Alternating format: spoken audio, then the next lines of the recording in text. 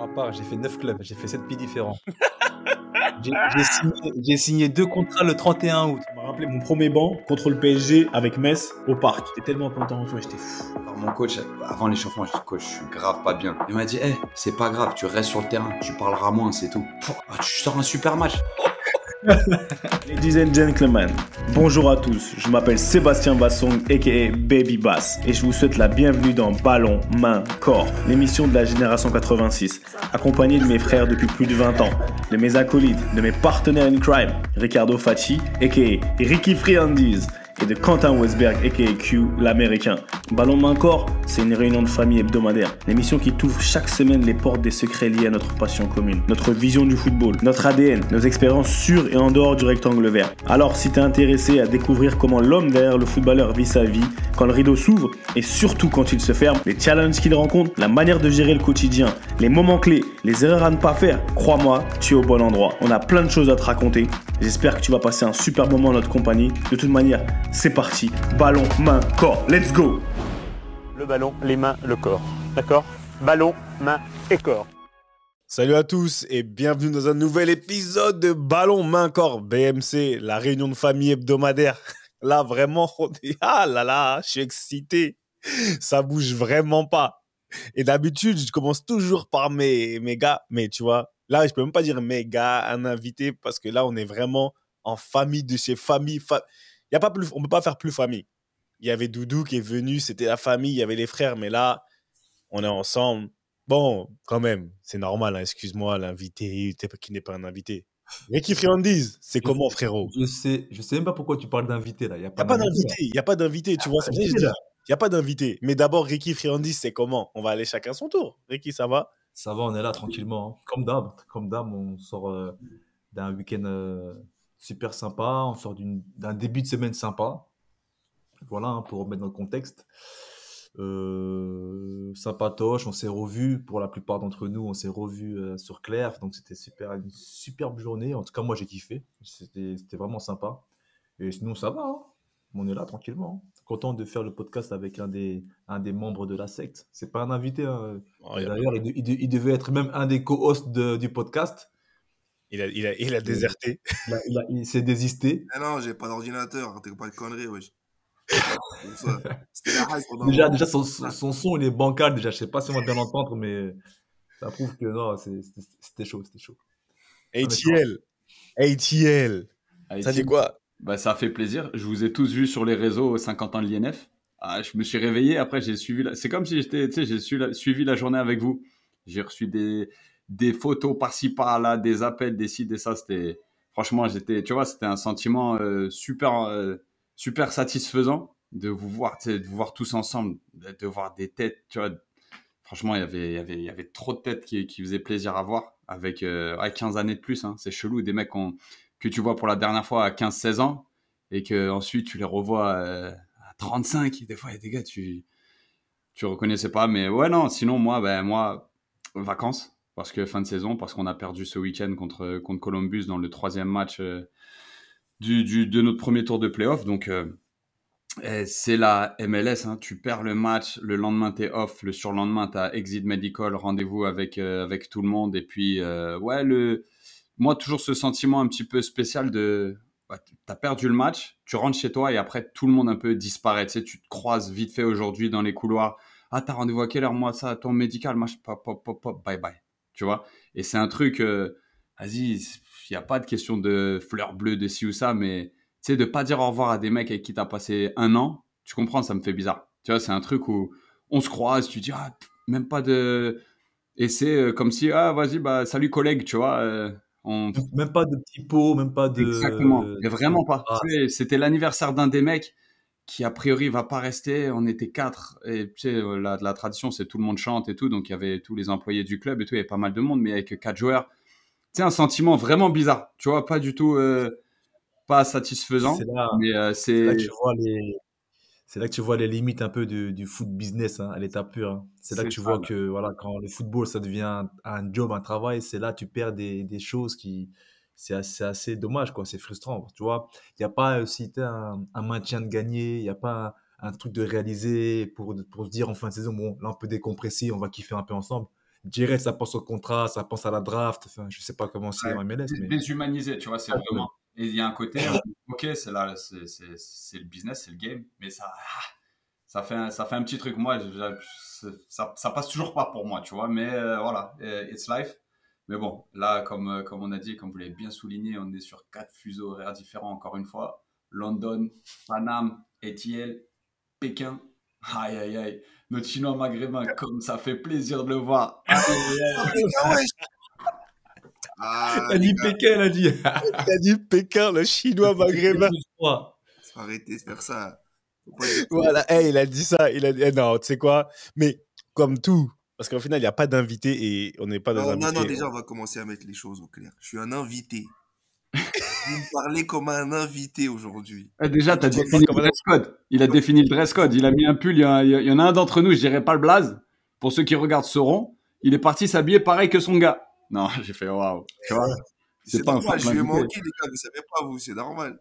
Hein? Je lui ai manqué, c'est normal. Il, il Ah oui, qu'on ait une frère. connexion, quoi qu'il arrive, c'est normal. C'est Toujours, toujours, frère, tu connais. Non, c'est- normal. Non, Mais pas, gars, Après, c'est un invité. c'est un réel plaisir de faire ce podcast. On, on- on vous voit chaque semaine euh, évoluer. Et euh, non, c'est vrai que ça va faire. euh, on a mis du temps à se à se à s'accorder pour x y raison euh, dont Sébastien Brasson glissait. Moi, je sais pas, moi, pourquoi. Et, ah, parce que t'as vu moi les ordinateurs, les réseaux sociaux, tout ça c'est compliqué. Vous savez très bien, tu vois. Ah, Donc voilà, mais non, mais je, voulais déjà intervenir sur ce que tu disais, Quentin. Tu vois le, est-ce que c'est pas eux qui ont raison en fait, tu vois? La saison elle est finie, tu rentres chez toi, ça y est. En fait t'es au travail. Et je crois que nous on le, prend en tant qu'Européens et peut-être en tant que Français encore pire, on prend trop à cœur le football. On prend trop à cœur et quand quand t'es euh, quand t'es éducateur ou entraîneur, c'est encore euh, encore encore différent, tu vois. Je pense moi quand quand t'es coach, quand la saison elle est finie, mon gars, je peux dire que c'est les gars, rentrez chez vous. J'en ai marre. Je vous ai trop vu. Ouais, non, mais c'est ça, c'est, hey, t'as vu le dernier match là? Salam, je vais plus vous voir, laissez-moi tranquille. Ouais, mais après, après il y a, il y a une différence entre, bon, les gars, fin de saison, fin, on coupe avec la, avec la compète, on coupe avec la pression, on coupe avec tout. Mais d'un côté, il y a aussi ce côté humain quand même. Moi, Ah, j'aimais mais- bien. Bon, en plus, moi, moi, quand j'étais à. Reggio, en plus, moi, j'étais à Reggio, tu vois, j'étais en Italie, il y a, il y a, y a deux saisons là, avant que je, avant, que je- avant que je fasse fin de carrière. Tu vois, c'est la fin de saison. C'était assez éprou- éprouvant, on ne gagnait pas beaucoup, on, on flirtait avec la zone de relégation. Quand on s'est quand on s'est sauvé, entre guillemets, c'est la fin de saison, ouais, on a décompressé, on s'est pris deux jours, on est parti à la plage, euh, toi, quelques bières pour ceux qui buvaient, barbecue, tu vois, tranquille, tu vois, histoire de dire, bon, voilà, on a fait quelque chose ensemble. Eh, Mais Avant de se dire au revoir, on fait un petit truc, tu vois, c'est la moindre des choses. Enfin, moi, c'est comme ça que je vois la chose aussi, en fait. Et aux États-Unis, ils sont, ils sont dans, un, dans un concept et un mode où les mecs, ils peuvent dormir et se réveiller le matin, ils savent même pas qu'ils doivent pas reprendre l'avion et partir de l'autre côté ou de l'autre côté du pays. Ça veut dire que les, les, les Ouah, relations, sont compliquées en vrai. C'est, elles sont hyper fake, les relations que tu as avec tes coéquipiers dans ce, dans, dans, dans ce système-là. Tu vois, quand Déjà dans le système footballistique normal, elles sont pas. Faut arrêter de croire qu'elles sont, Non, elles mais- sont grave Oui. Non, mais, mais de ouf, de ouf. Franchement, regarde, tu vois. Après, je parle pas de Ricardo, parce que Ricardo, lui, c'est, t'as vu, il, il est copain avec tout le monde, il est là, il a les numéros de tout le monde, il a les trucs et tout. Sérieux? Vous, savez comment, vous savez comment il est, Ricky, tu vois. Le Moi, c'est- moi, tout le monde aime Ricky. voilà, moi, j'ai, pardon, moi, j'ai un caractère qui est plus, qui est différent. Ça veut dire que je peux être beaucoup plus jovial et tout avec les gens. Mais si t'es pas dans ma sphère dès le départ, depuis, de- depuis nous qu'on, est gamin, tu vois. Et en fait, t'es un collègue de boulot, en vrai. T'es complètement un collègue de boulot, tu vois. Il y a peut-être deux ou trois mecs sur toute la carrière avec qui j'ai gardé des, des, des liens. Et c'est tout. C'est pas énorme. C'est pas énorme. Ça, c'est, Bah, euh, tu changes de club, bon, bah voilà, salut, salut, salut, salut, machin. euh, La vie, elle continue, la vie, elle avance, tu vois. Et moi, j'étais. euh, Après, j'ai, peut-être après, j'ai peut-être une question d'éducation, peut-être de honte, euh, de renvoyer un message. Ouais, salut, ça va. Et en fait, t'as vu, t'es parti, je suis parti. Euh, tu m'envoies pas, je t'envoie pas. Et. Salam. L'habitude devient une seconde nature. Au final, euh, Exactement, tu vois. Alors que pour nous, Ouais. pour nous qui sommes, qui se connaissons depuis qu'on est bébé, ça n'a rien à voir. Ça n'a rien à voir. Et je pense que on va basculer sur ce qu'on va sur, sur hier, tu vois. On a vu que nous, notre génération, on était quand même vachement euh, entre guillemets fusionnel, tu vois. Les 86, c'était un- ça, ça s'est vu, tu vois.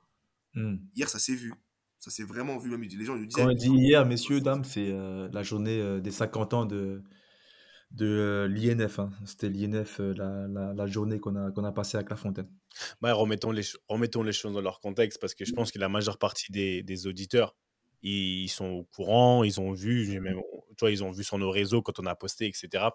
Mais oui, ils, enfin, mardi, donc mardi, mardi, c'était les, les 50 ans, comme ils ont dit, de, la formation à la française et de l'INF Clairefontaine, donc de l'INF. Et on était tous réunis, on va dire les 50 promotions, et c'était fort en émotion. C'était fort en émotion. On a vécu, on a vécu une journée, comme Ricky l'a dit, Habib il le dit. En fait, il y a beaucoup de choses à raconter. Et c'est ça aujourd'hui. Moi, j'aimerais qu'aujourd'hui, on va, on va, ce soir, euh, pour nous ce soir, on va un peu discuter. On va un peu discuter entre nous, comme ça, bâton rompu. On va faire un petit débrief de tout ce que ça.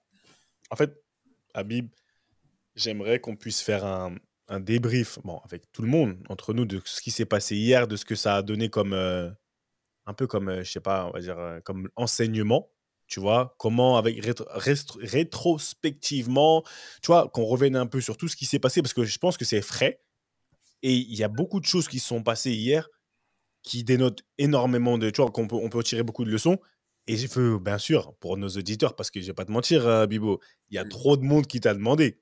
Oh, Habib Belaïd, oh, il arrive quand? Ah, il arrive quand Et quand on demandait, vous voulez qui Et tout. Non, non, il revenait souvent. Donc, on va faire un petit peu de tout, dans le sens où on va parler. Ah, en même temps, on va parler de toi, on va parler de comment tu as vécu les choses, parce que je pense que tu as, depuis bah, notre départ, euh, notre départ, départ de là où on était hier, qu'on a commencé là-bas jusqu'à aujourd'hui, pour que le, monde du football recon- reconnecte avec toi et que aujourd'hui voilà par rapport à ce que tu fais il y a beaucoup de messages de par rapport à hier et par rapport à ce que tu fais qui, qui nécessitent d'être euh, exprimés je pense tu vois?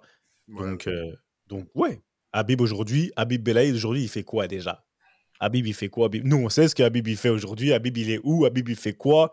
Il est c'est qui Habib aujourd'hui? Aujourd'hui, Habib, c'est c'est un père de famille, déjà avant tout. C'est un père de famille, père de, de, de, de quatre beaux enfants. Donc, euh, c'est c'est ce qui me rend le plus fier aujourd'hui. Aujourd'hui, je suis entraîneur euh, de foot, donc euh, je suis coach, j'ai mon- j'ai mes diplômes et je continue toujours à me former euh, dans un club de, de Tremblay en France, le club de la ville où j'ai grandi en fait, où euh, je suis arrivé il y a 4 ans maintenant. Bon, c'était encore le Covid, mais euh, j'ai pris l'année d'après où j'ai gravi les échelons petit à petit, où j'étais coach de la première, où je suis passé directeur, directeur technique avant de, de, de, pouvoir encore évoluer sur, sur d'autres fonctions, j'espère. Pas la présidence, parce que c'est les, les choses comme ça, ça m'intéresse pas du tout. Mais euh, voilà, je gère un peu tout le côté sportif du club. Et euh, même si c'est un club amateur, il y a énormément, énormément, énormément de choses à faire. Et je pense que quand on est euh, quand on était encore joueur, on se rendait pas compte de la, la, la charge de travail d'un club amateur. C'est énorme. C'est énorme, énorme, énorme. Ouais. Vraiment. et Donc, qu'est-ce euh, qui t'a amené qu'est-ce qui t'a amené à rentrer à la maison au final? Une Quoi, la opportunité- Une opportunité, je pense. Tu vois, à un moment donné, euh, j'arrive à... Pardon. J'arrive à 33 ans et euh, tu te dis, bon, est-ce que tu signes encore un contrat de deux ans ou quoi, en national ou national 2 ou, tu as l'occasion peut-être de rentrer chez toi et d'avoir un, un- CDI et euh, de commencer à apprendre. Parce que on peut dire ce qu'on veut, même si on a fait une carrière de footballeur, être euh, entraîneur ou éducateur, ça dépend pour l'âge pour lequel tu coaches, c'est deux mondes différents. Et si tu apprends, en fait, tu apprends un nouveau football, en fait. Mais complètement. Tu apprends un nouveau football et... une nouvelle approche, quoi. Comment? T'as une nouvelle approche. bah, à partir du moment où déjà tu vois le terrain de côté et que t'es plus dedans, déjà ton, ton- ta vision du football est complètement différente. À partir du moment où, euh, quand tu parles pour quelqu'un comme moi qui a souvent été capitaine ou quoi que ce soit, et que tu parles et que tu es au milieu de tes coéquipiers, et c'est des mecs qui sont comme toi en fin de compte, parce que capitaine ou pas capitaine, c'est là, c'est, tu restes une partie du- des, des 16. Et que là, quand tu es coach, tu parles et que tu as les 25 mecs devant toi, et que tu dis, bah, en fait, il faut que ces 25 mecs j'arrive à les faire penser comme moi, et bah, ta vision du foot, elle change complètement. C'est limite, c'est pas, pas le même métier. Voilà, nous, en tant que joueurs, on est une personne dans un collectif. il faut que ta prestation soit bonne pour que ton collectif soit bon. Tu vois, après, des fois, tu peux avoir un collectif moins bon et toi, ta performance, elle a été bonne ou vice-versa. Mais en tant qu'entraîneur, tu, tu, tu, gères forcément un collectif et un groupe. Et euh, ton cerveau, il réfléchit beaucoup plus. Ça veut dire que le soir, après les, les séances d'entraînement, tu es beaucoup plus fatigué qu'un qu'un joueur, qu'un joueur normal. Donc, euh, mais c'est bien, c'est bien, c'est un vrai kiff. C'est un vrai, vrai kiff. En fait, tu avais aussi un besoin de, de stabilité? Parce que sur la fin, tu as quand même beaucoup voyagé, tu as, as, beaucoup bougé, ouais, tout ça. bien sûr, tu as besoin de stabilité, tu as, envie d'arrêter les, les, les, les, les, voyages et les petits trucs, tu vois. Et puis, euh, je pense que j'ai aussi besoin de stabilité dans ma vie, pas forcément au niveau du foot, mais dans ma vie personnelle aussi, tu vois. Mmh. Et. Euh,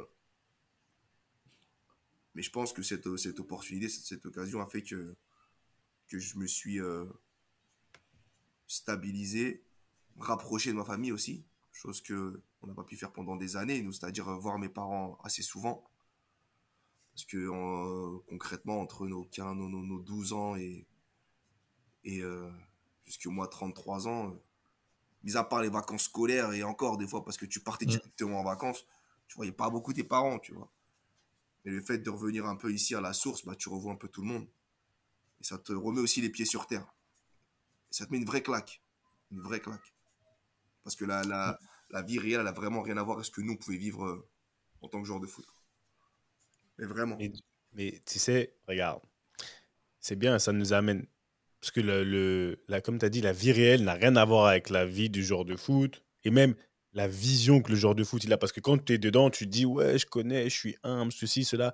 Mais au final, la claque là, on a tellement été formé d'une certaine manière. Et quand est-ce que ça a commencé?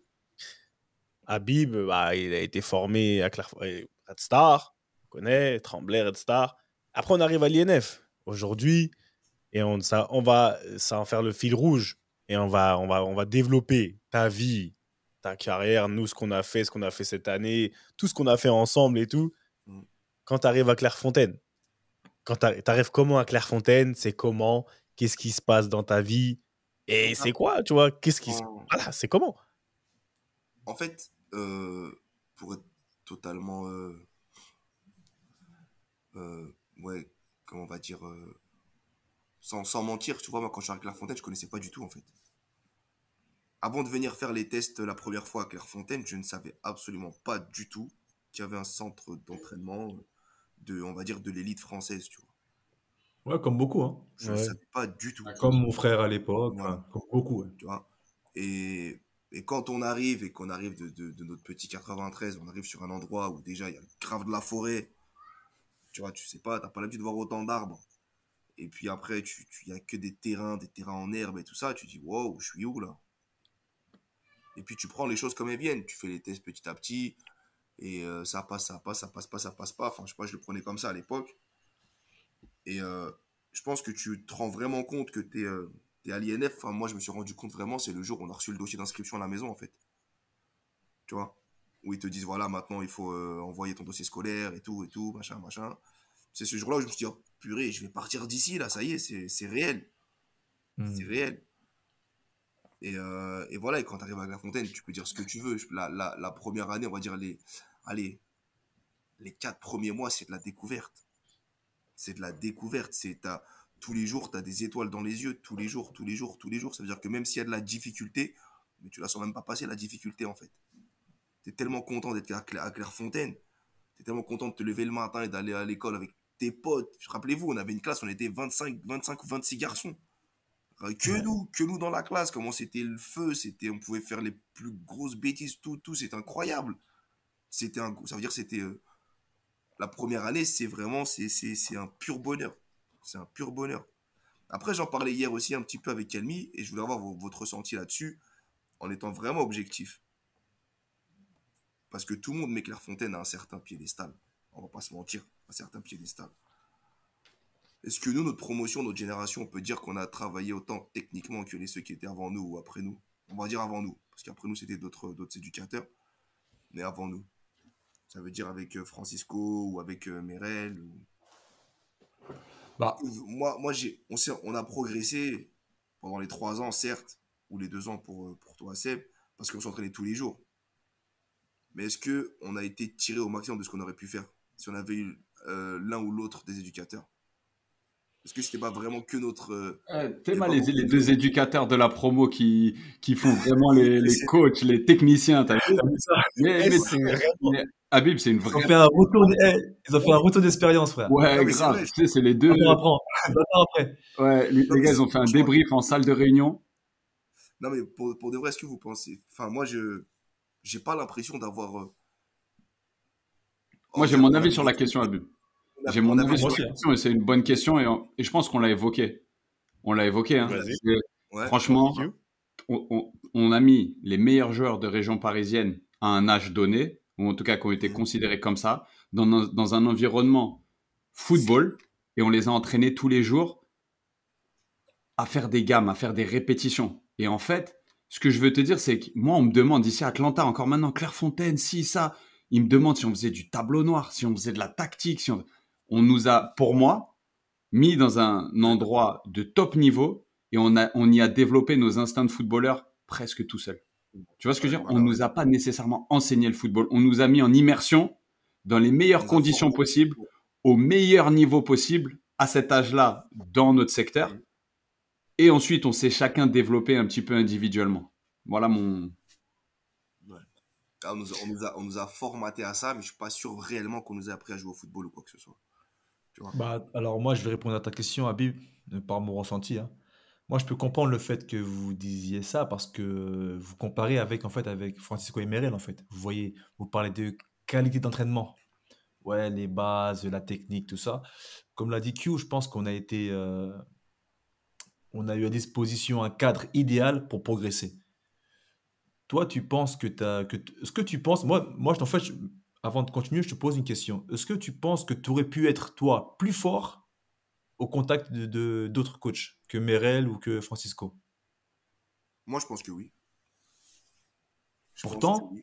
je pense que Quand tu es sorti, Je pense, parce que Ah oui. regarde, je vais. Et là, toi, attends, attends, attends, je termine. Toi, en ce qui te concerne, toi, je, je parle seulement de toi. Après, après, les autres, c'est un, un cas à part. Mais toi, je pense que tu as tiré le maximum de tes capacités euh, avec, avec du saut. La preuve, tu étais déjà en équipe de France. Tu es arrivé à, à, Strasbourg, tu étais prêt pour le centre. Et après, tu as fini pro. Moi, je pense que. Ouais, mais je suis, je suis, je suis, je pense que j'aurais été peut-être, euh, je vais parler sur l'aspect technique, encore meilleur.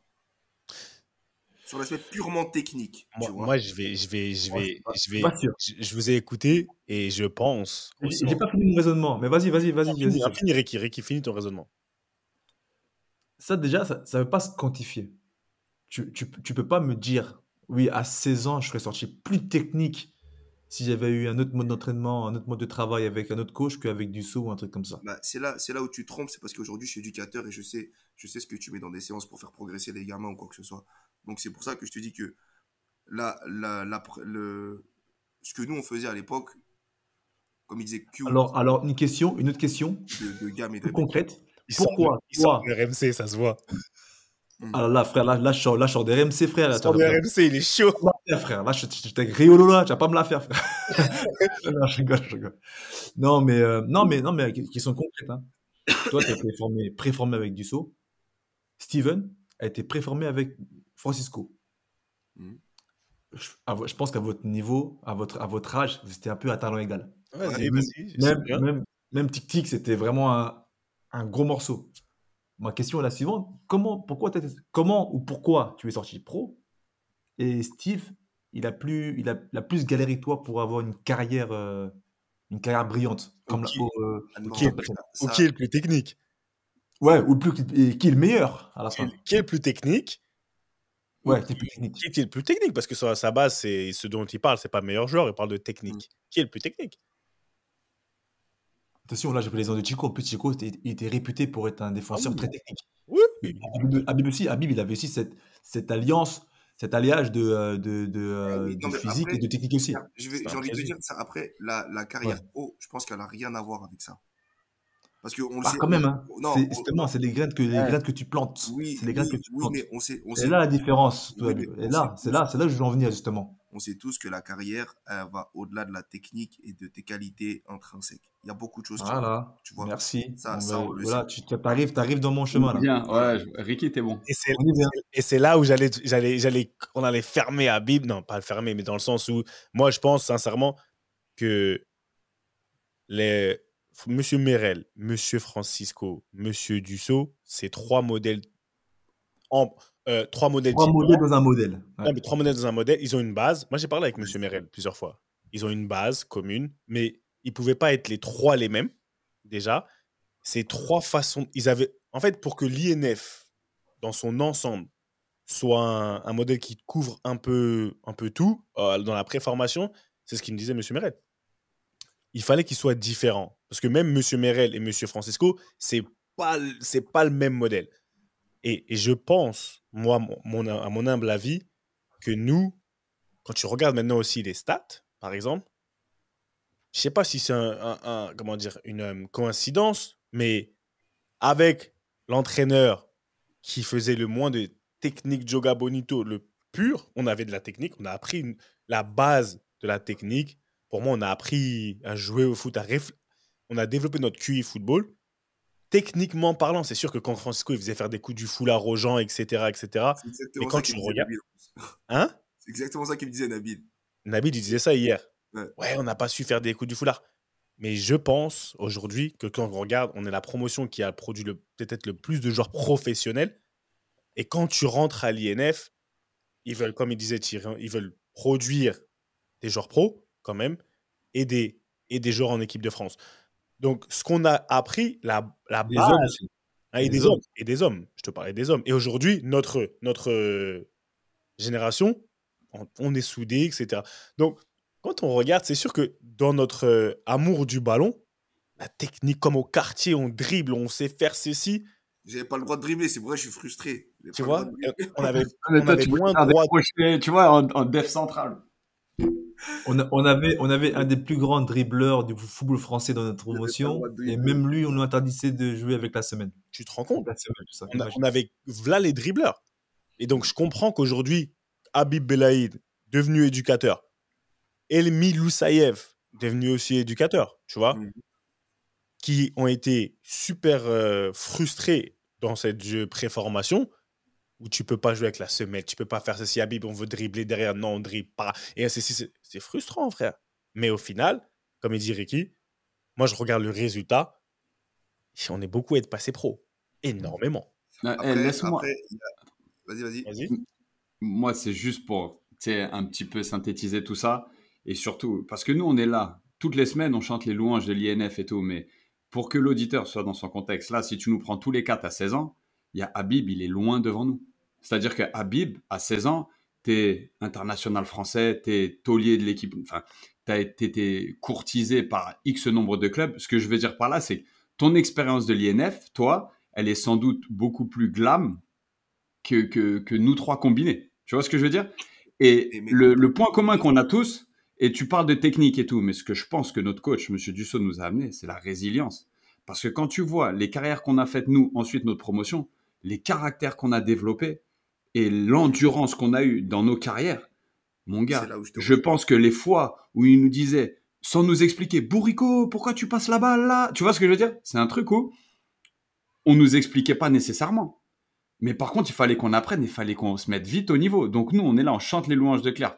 Moi, Clerf, ça a laissé un, ADN indélébile, mais c'était pas les meilleures années de ma vie. Hein. C'était pas le confort. Tu comprends? Et on est là, on débriefe et tout, mais la résilience qu'on a tous développée, chacun de notre manière, avec nos caractères. Mais c'est un truc où t'as as, créé une espèce de bande de lâche rien, et en plus, en, en plus, tu les as médiatisés. À une époque où y a, ça n'existait pas les réseaux sociaux.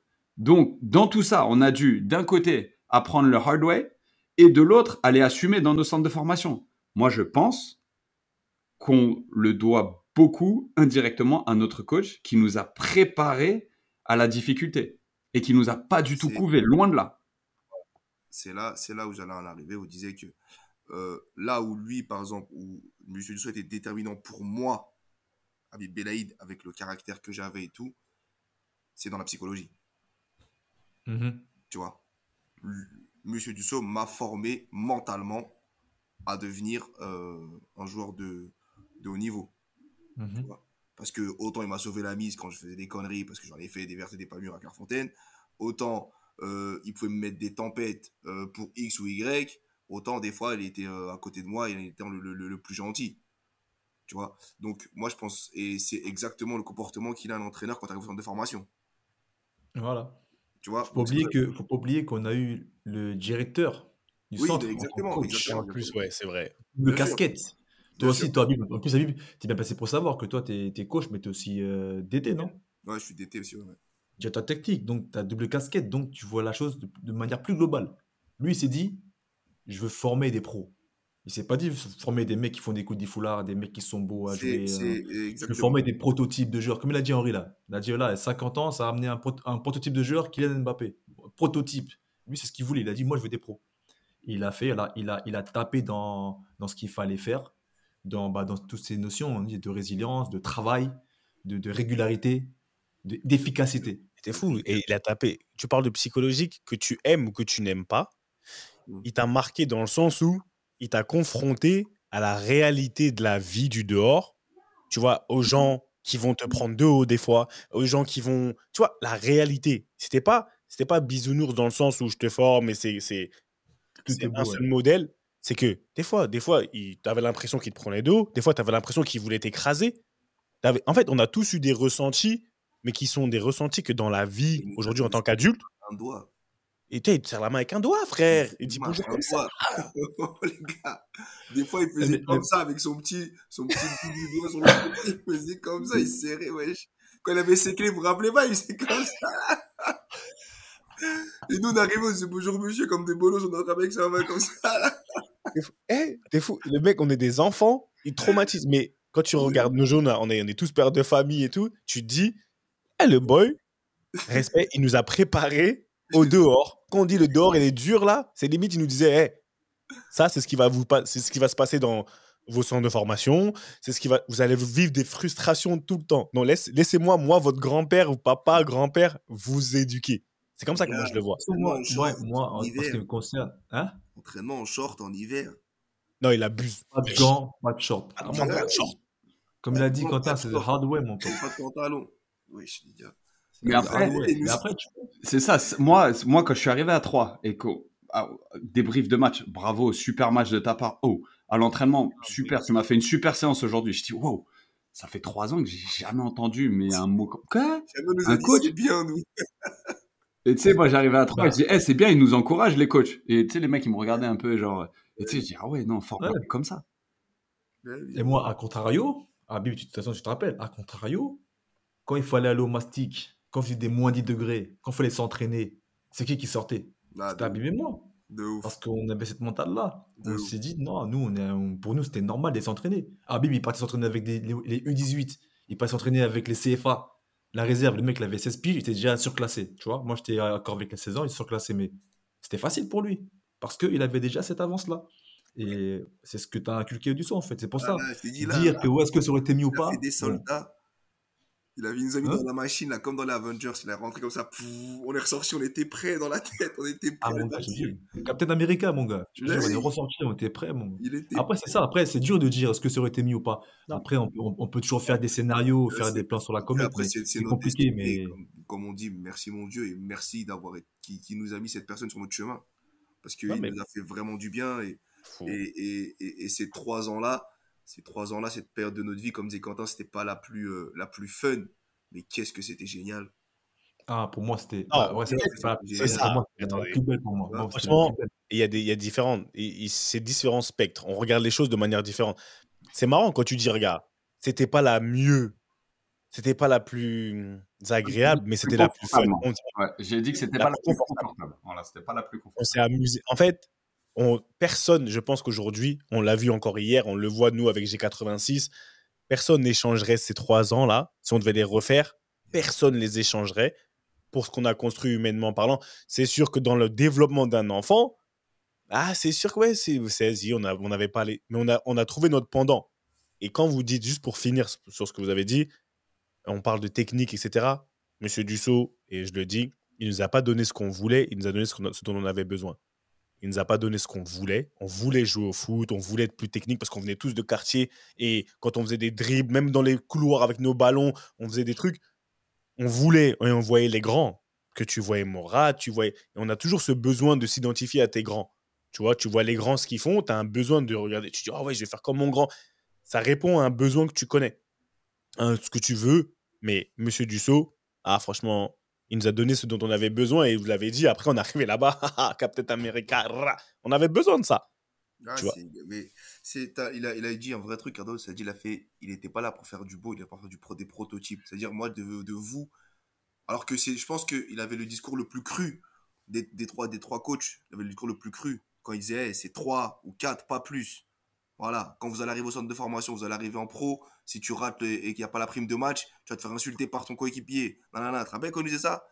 Mais ça c'est tellement vrai. On, on se rend pas compte, mais il nous, rap- il nous, il nous parlait comme ça. Mais on bien avait sûr. 14-15 ans, frère. Bien on sûr, avait moi je me 14 rappelle très bien il disait ça. Vous allez voir au centre de formation, celui qui est à côté de vous va vous mettre un tac alors qu'il vous aime pas. Et nanani, et nanana. Et vous croyez que c'est facile. Ah là. Et vous pleurez pour si. Et quand vous allez arriver. Et parce que, rappelez-vous, je vous promets qu'il nous parlait déjà du racisme à l'époque. Il nous en parlait. Et vous croyez quoi? Quand vous voir de- des grands noirs arriver, que ça va être comment dans les trucs et tout. Rappelez-vous Mais les gars, eh, il nous a mis dedans.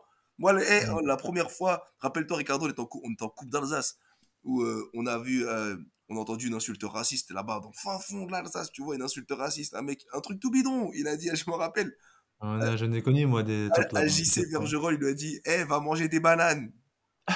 Alors l'autre, il, il en pouvait plus, il voulait péter les plombs, JC, je me rappelle, mais moi j'entends, j'ai rigolé. J'ai dit, mais wesh, mais les mecs, ils sont fous, mais c'est normal.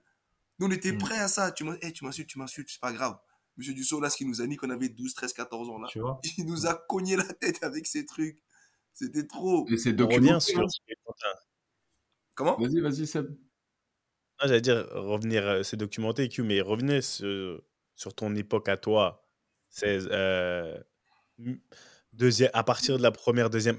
Clairefontaine, quand Habib, le mec euh, en avance. Ouais. Aujourd'hui, comment tu le vis et ton- par rapport à ça et ton arrivée à Strasbourg? Parce que, en- comme il a dit, tu es en avance, frère. On, avait, on jouait à peu près. Moi, je commençais à redescendre de côté. Toi, tu étais, un présu avec les togs. On vous regardait comme ça, mais on avait le même âge. Mais tu vois, bah, c'est vrai, vous étiez en avance. Donc, euh, comment ça se passe? Comment ça se passe et ton arrivée à Strasbourg après? Pourquoi Strasbourg Et comment ça se passe, tu vois? Pourquoi Strasbourg? Euh, Parce que je pense que c'était l'endroit où, où j'avais eu le meilleur ressenti. Je l'ai je l'ai déjà expliqué plus d'une fois, en fait, ça s'est joué entre Strasbourg et Nantes. Et, euh, Le contraire de Tic. Et j'ai tiré à pile ou face. Ouais. Non, mais c'est ça, de toute façon. euh, on est- lui, c'était un petit Delilah, moi, du Red Star. On avait un an d'écart, tu vois, donc les gens, ils nous connaissaient tous sur le même. euh, c'était les mêmes trucs, tu vois. Voilà. Et. euh, Le même level, plus ou moins, déjà. Exactement, ça veut dire qu'en fait, quand, quand Nantes, ils m'ont pas fait, ils ont pris bah, après Steven derrière, et quand Strasbourg, ils m'ont fait, bah, ils ont dit, bah, c'est bon, on laisse euh, Steven après pour l'année d'après, tu vois. Hmm. Donc, euh, ils allaient pas, ils allaient pas euh, superposer les, les, les joueurs au, au poste. Les tours de draft, hein, c'était vraiment les tours de draft. Ah hein. ouais, et puis surtout À la carry. surtout que, tu vois, tu prends, tu prends Steven et moi, tu t'imagines, moi, je suis à Strasbourg, il est à Ça Strasbourg, on pas de sens. Ouais. C'est le, quasiment le même profil. Ouais. C'est le même profil de défenseur, tu vois. Donc, euh, tu peux pas mettre deux de, de joueurs qui, font, qui veulent que jouer au ballon. À un moment donné, si t'as pas un mec qui va au contact quand t'es défenseur, tu vois, tu vas. Tu... Ouais, mais même après, même, ils pensent aussi à, euh, au niveau pro. Mais oui, bien bah, sûr. si un maintenant tu es pro, l'autre il va être bloqué, donc euh, Mais bien sûr, bien sûr. Donc, euh, donc voilà, et je t'ai dit, ça s'est joué à pile ou face. J'ai fait, fait pile, je vais à, pile, je vais à Strasbourg, face, je vais à Nantes, ça s'est tombé sur pile. Donc, non, tu mens. Non, je, je- te jure sur la vie de mes enfants que je te mens pas. Ça s'est joué comme ça, j'étais, je partais le matin. Donc, donc, donc, moi je suis parti à Strasbourg sur un pile ou face. Mais oui, après, j'étais- c'est bien, moi, moi, je vous dis ici, parce que moi je vous dis, moi quand je suis euh, en troisième année, Habib il vient dans ma chambre, parce que moi j'étais dans la chambre avec Alex Reno à l'époque, en troisième année. Il vient il me dit, euh, il savait que Strasbourg me voulait, tu vois. Et à mon avis, ils ont fait un travail sur Habib. Ouais, on veut Ricardo, tout ça, nanana. Il vient dans ma chambre, il me dit, oh Ricky, franchement, faut que tu viennes à Strasbourg. Strasbourg, c'est un bon centre. Marquez il est bien. Vas-y, viens, on va, on va kiffer là-bas tous les deux. On va être ensemble, on va jouer, tout ça, t'inquiète pas. T'es mal pile Tu ou vois, moi aussi, j'avais quelques clubs. Bon, j'avais un Rennes qui était intéressé parce que mon frère, il y avait un peu Saint-Etienne parce que Georges Clerc, t'es Georges Clerc, il voulait tous les mecs de Clairefontaine. Tous faire Georges. Georges Clerc, big up à lui. Et, euh, et puis Strasbourg. Et là, je me dis, bon, bah, c'est vrai que Strasbourg, finalement, ça peut être pas mal. hein. Ils ont un nouveau centre, tout ça. En Ah plus, il y a Habib qui va. T'es mal pile ou pas, voilà. pile ou face de fou. Je t'ai fait venir à Ah, Strasbourg. face alors On a fait des trucs de fou, on a fait nos débuts de carrière ensemble. Déjà, hé, tous les trois là. J'ai un point Hein? commun avec chacun d'entre vous que vous, vous n'avez pas entre vous. Moi, je sais de quoi il va parler. Narchpil. Non, même Hein? pas, même pas, même pas, même pas. Là, je vais trop loin. Là, tu vas Non, trop mais loin. euh, dit quoi une Non, Non, il a dit, il a, il a- J'ai il a joué dit avec mot chacun d'entre vous alors que vous, vous n'avez pas joué les uns avec les autres. c'est J'ai joué ça. avec toi à Strasbourg, j'ai joué avec Ouais. Quentin à Sarpsborg et on a joué tous dans l'équipe de France. euh, c'est- France, ouais. Tu vois? Et quelle période? Parce que Ah, c'est Ricky, eh, avec Quentin, moi. eh, Ricky, Hein? Ricky, le- la disquette qui t'a mis là euh, pour Strasbourg. Nous, histoire de ouf. Moi, je me retrouve post-Luznac en galère hiver, euh, hiver 2014, le passage à 2015, et j'ai le White Star Bruxelles qui m'appelle, de John Bico, à l'époque que tu connais bien, Ricky. Ouais. Et Habib est Ouais. là-bas, capitaine, tu vois, il était là depuis trois semaines, il était déjà capitaine, il gérait le navire et tout. Il me dit, viens avec nous, c'est un super club, machin. Moi, je dis, Habib, bah, j'ai un feeling bizarre et tout, machin. Bref, ça capote, tu vois. Et franchement, c'est quoi Un mois après, Habib? Pff, Il est Ouais. plus, je vois, il est plus au Red Star, euh, White Star Bruxelles. Et moi, entre-temps, je signe en Norvège à Sarpsborg. Qu'est-ce qui se passe? Ils me disent, ouais, on est intéressé par un défenseur central. Tu connais Habib Belaïd Donc, en trois mois, on s'est chacun fait la cour pour se rejoindre. Et au final, il m'a rejoint en, en Norvège pour sincèrement trois mois. Les, un- tu vois, des, des souvenirs. Tu as des souvenirs de gagner des titres, machin, mais d'une intensité. On avait chacun laissé nos familles en France. On était retournés à, à Clerf. On- en fait, on dormait chacun dans notre appart et le reste du temps, on le passait ensemble. Mais hein, ça. Euh, on, se- on rejoignait le matin au petit-déj, on s'entraînait, on déjeunait ensemble au stade, on allait faire la sieste chez nous, on se rejoignait en salle de muscu, tu te rappelles? On allait Ouais. un soir sur deux en salle de muscu en centre-ville, on mangeait ensemble, on allait dormir chacun chez soi. Incroyable. Et le, et le plus marrant dans tout ça, c'est que le- la première titularisation d'Habib, le coach, je me rappelle, on va en coupe, et il m'appelle dans le bus, il, me- il me dit, viens voir. Eh, J'adore ce qu'on voit d'Habib, il est peut-être pas nécessairement super prêt physiquement, mais j'ai envie de le mettre. Et vu que tu es avec lui, je sens que ça va cartonner. Il m'avait dit ça. Il me dit, tu penses qu'il est prêt? Je dis, feu, coach, feu, feu. Et franchement, on a quoi? On a joué 4-5 matchs parce qu'après, je me retrouve à partir après. Mais eh, le kiff de jouer avec un mec de Clerf 15 ans après en Norvège, c'était un truc incroyable. Incroyable. Et à but, je le mets dans les meilleurs souvenirs de ma vie, pour de vrai. Des trucs incroyables. On se faisait que des passes. On se faisait que des passes. Ils pétaient les plombs, les mecs. On se faisait que des passes. rappelles ou pas? Ah, De toute façon, Q, il fait des passes qu'avec des de clair. Ouais, c'est Ah, il fait des mailles, il passe avec des pères. Là, c'est qu'avec toi, laisse tomber, Que frère. des passes. Il me cherchait toujours. Tiens, je sais pas, je me suis baissé mal pour toi. Il contrôlait, je me décalais. Boum, boum, boum. C'était trop bien. un plaisir, un plaisir incroyable. Non, Mais, ton, pi- plaisir. eh, ton, pilou, ton pilou face, il a amené Joss aussi et Abdelak ou il a amené Kriki, ton pilou là, euh, Joss, Joss, il l'a ramené. euh, Joss, ils m'en ont parlé après, tu vois, sur la fin. Et euh, Ric- Ricardo, ils m'en ont parlé, en fait, quand moi je suis parti. euh, en fait, on est parti jouer à Strasbourg avec Clairefontaine, je me rappelle. Et euh, une semaine Oui. avant, moi j'étais parti à Stras. J'étais parti signer une semaine avant, en fait. Et, euh, et après, à ce moment-là, ils m'ont- on me parlait de, de Ricardo. On me dit, on voulait faire Ricardo et tout, machin, tout ça. Je dis, bon, on va lui faire la cour. Et en plus, à ce moment-là, avec Ricky, on était parti déjà en Angleterre. Rappelle-toi, on était parti en Angleterre. Avec le fameux. On était parti à Blackburn. Voilà. À Blackburn, à Middlesbrough. avec le fameux. En secret, on était parti. grave. Le fameux, le papa Ricky qui nous avait dit, ah, it's a good atmosphere in the stadium. Vraiment, Ricky, il a dit oui, il a dit, il a dit, l'herbe, elle est verte. Eh, sors pas les dossiers en live, toi aussi, ouais. Eh, c'est public, là, comment Sors pas les dossiers. Elle était trop bonne, celle-là. Sors pas les dossiers, sinon on me le dit ce que ton père, il a dit là-bas, toi. Eh, mon- daron, il n'a rien dit, il était pas là, faut pas mentir.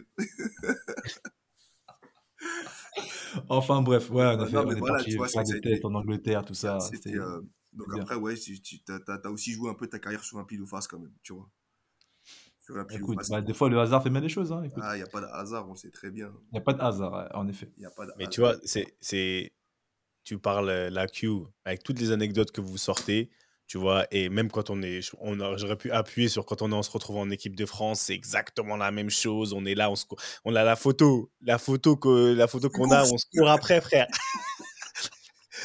comme, comme à Clé- on Comme se court après. Les gens, ils se- Mais comme des bébés. Mais Comme des bébés, les gens ils, se- ils se demandent mais qu'est-ce qu'ils font eux? Ils sont là, on se court après, on se chamaille, on est là, on se donne le ballon, on se court derrière, ah lâche-moi tout ça. Donc franchement c'est n'importe quoi, mais tout ça, tout ça c'est créé, c'est comme hier en fait, tu vois, pour revenir à ce qui s'est passé hier.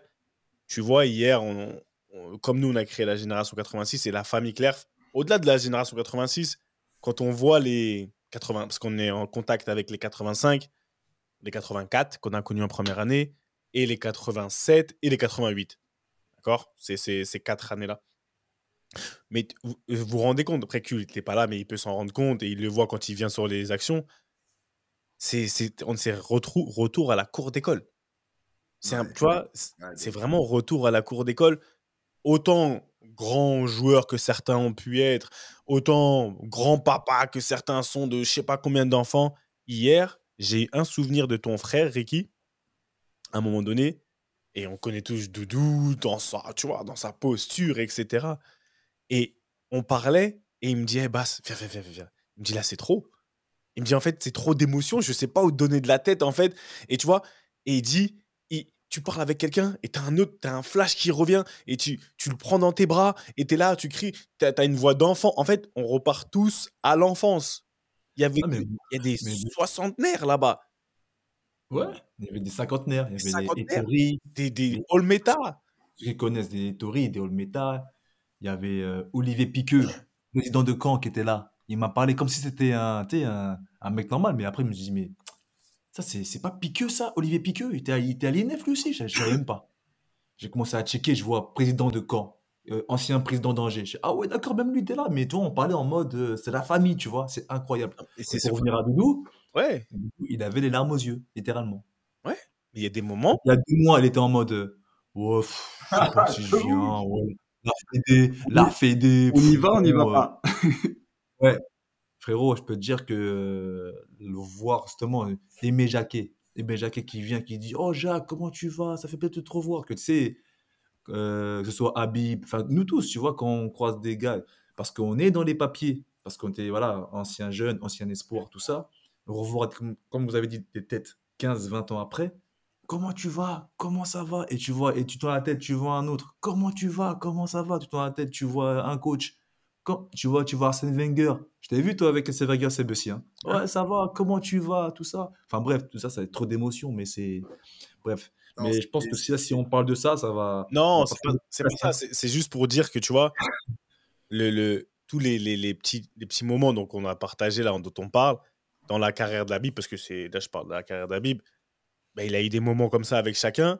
Et c'est limite, euh, tu vois, quand il est, parti en, il est parti en Norvège, parce que quand tu pars en Norvège, il y a eu des choses qui sont passées avant, avant d'arriver. Qu'est-ce qui fait que tu pars en Norvège Tu vois? Comment ça se fait que tu pars en Norvège? Qu'est-ce qui s'est passé entre temps Mais quand tu... En fait, ce que je veux dire aux gens qui, qui écoutent, que ce soit des, des INF ou pas des INF, ça veut dire que à ce moment-là, quand ils voient Quentin là-bas, ou c'est en fait, c'est limite si sa jeunesse vient lui donner de la force pour repartir encore. En fait, tu vois, c'est en équipe de France. Moi, quand j'arrive en équipe de France, il était déjà là. C'était pas facile pour autant. Toi, t'es un peu. Mais je vois mon frère qui est là. Je suis tout de suite. Ça me donne une force pour bien jouer. Enfin, Ah oui. à la maison, t'es à Zelay. Tu vois ce que je veux dire? D'avoir c'est euh, tu te sens pas seul tu vois. T'es pas seul. Et c'est pas genre tu parce que c'est un français. Parce qu'on sait comment ça se passe quand tu vas à l'étranger. Généralement tu te rapproches de la communauté tu vois de, de, la langue dont tu parles tu vois forcément. Mais là c'est- là c'est pas c'est pas un français là. Là c'est Quentin. Là c'est Ricardo. Là c'est Basson. Tu vois ce que je veux dire? Que là c'est méga sûr. On a dormi ensemble. On a fait des veillées on a fait des trucs on a on a fait trop de trucs dans notre vie. On a pleuré ensemble, on a rigolé ensemble, on a mangé ensemble, on a tout fait. Tout, tout, tout, tout fait. Donc forcément, forcément, quand tu vois et que tu arrives, c'est. T'as une dose de, d'adrénaline et de, tout ça qui sort et putain, ça me fait du bien. Et quand après, le ballon il arrive, t'es sur le terrain, ben alors là, mais ça y est, c'est, c'est, on- comme t'as dit, eh, on a 15 ans direct. On a 15 ans direct, ça y est, des bébés, des bébés. Des bébés, on peut se rouler par terre avec un ballon et tout, mais vraiment des bébés. C'est ça, c'est parce que c'est notre vie, parce que on se kiffe, parce qu'on se connaît, parce qu'on se connaît plus que, que la, majeure partie des gens. Et on a la chance, on a la chance de, jouer ensemble au haut niveau. On a la chance de, d'être, formé au haut niveau, comme disait Quentin tout à l'heure. Et ça, c'est pas donné à tout le monde. Et aujourd'hui, comme moi j'entendais pendant quelques années, là, ouais, Clairefontaine, c'est plus pareil, Clairefontaine, ça a changé. Eh, t'as vu, s'il y a un truc que je dirais à mon fils, s'il pouvait le faire, de le faire, c'est d'aller à Clerf. C'est d'aller à Clerf, c'est trop bien. C'est d'aller à Clerf. Peut-être pas après tout ce qui en suit derrière, parce que on a déjà discuté, Seb, tu vois, le, le monde du foot, tu vois, c'est. c'est- c'est- Je, suis, je, suis, je suis pas trop fan. Je suis pas trop fan. Parce qu'on l'a connu, on l'a trop bien connu. Après, s'il y a les capacités, bien sûr que. Mais en tout cas, je forcerai pas ou rien du tout. Mais là, notre enfant, notre jeunesse, là, sans papa, sans maman, sans frère, sans sœur, c'est juste toi et tes frères de foot. Mais c'est trop génial, wesh. C'est Ouais. trop de la honte. Eh, mais tu sais, pour illustrer ce que, ce que tu racontes là, Bib, tu vois, cette connexion. Tu vois, hier, quand vous y étiez, sais, comme on dit, des jumeaux sont connectés. C'est-à-dire que des jumeaux, même quand ils sont pas ensemble, s'il y en a un qui pleure, l'autre va être triste. Tu vois, tu, tu- tu vous connaissez un petit peu ce- ce- ce- cette connexion que des jumeaux ont. Et ben hier, j'étais heureux pour vous, tu sais, en voyant le, tu tout le contenu avec lequel, que vous avez partagé avec moi, que beaucoup partagé sur les réseaux. Il y en a qui m'ont envoyé des photos comme ça. Et ben, tu sais, c'était comme si pendant 3-4 heures, j'étais un peu en apesanteur. J'étais avec vous. Tu sais, c'est comme si j'étais connecté avec vous et j'avais un sentiment de plénitude, tu vois. C'était super bizarre. Je me sentais comme, tu sais, j'étais à Atlanta, mais j'étais avec vous par la, par l'émotion. C'était même pas par la pensée, Ouais, c'était par l'émotion. J'étais connecté à vous. Et, quand j'ai vu Maz, tu sais, et que hum, Elmi m'a demandé de l'ajouter sur le groupe, c'est comme si j'avais ressenti l'odeur de Claire. Tu vois, c'était trop bizarre. C'était un truc, une connexion de ouf, et j'étais. Mais on, s'est parlé après. été tellement co- content pour vous. C'était un truc de malade. J'ai cru que j'ai- cru que t'as ressenti son odeur de. Niac Non. Je hé, hé, Quentin, Quentin, on a- quand tout le monde a vu Maz, là, enfin, moi, je sais que quand je l'ai vu, Hmm. j'ai dit, waouh. Et il m'a taillé direct, mais j'ai dit, je m'en fous, c'est trop bien de te voir. Fait trop du bien. Il m'a dit quoi? Il m'a dit, hey, Habib, un jour, on a joué l'un contre l'autre. Tu m'as dit que tu sortais du vestiaire, t'es jamais sorti. J'étais là, et il a, il a allumé dans la seconde, frère. Direct. Il a taillé comme un je t'attends toujours devant. C'est fou, hein. 20 ans après, c'est les mêmes phases qui ressortent, c'est incroyable.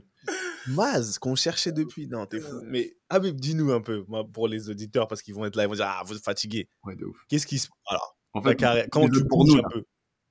Non, là, c'est un épisode pour nous, ça, mais c'est pour nous. Mais c'est un- aussi, je pense que ça peut apporter beaucoup de d'insight sur le, comment ça se passe, parce que quand tu donnes ce genre d'insight, comment ça se passe, ça, ça, les gens ils vont comprendre dans quelle mentalité on a grandi et comment on évolue. Et lui, Alors, on a dit, il est, il en avance. Mais après, qu'est-ce qui se passe? Pourquoi Comment ça se passe après Strasbourg? Tu joues, je m'en rappelle, on commence en pro, t'as capté, on est là. Euh, Ouais. Tu, euh, tu, même comme je m'excite, là, je voulais aller marquer, tu, tu me dis, wesh, attention, tu fais quoi?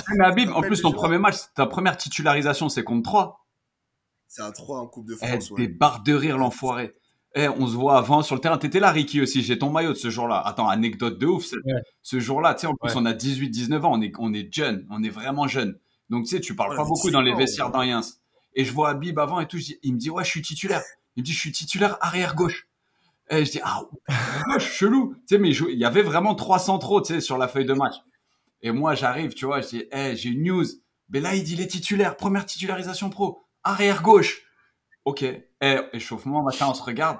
Et après, coup d'envoi, je le vois bien dans l'axe, stopper droit. Il me regarde, il rigole. J'ai dit, ah ouais, j'ai utilisé mon crédit pour l'année de je prends la parole. Et l'enfant, il est dans l'axe. j'ai dit, eh, Habib, il changera jamais. Oh, le. Après, j'ai mis 5 ans à, à la ramener après.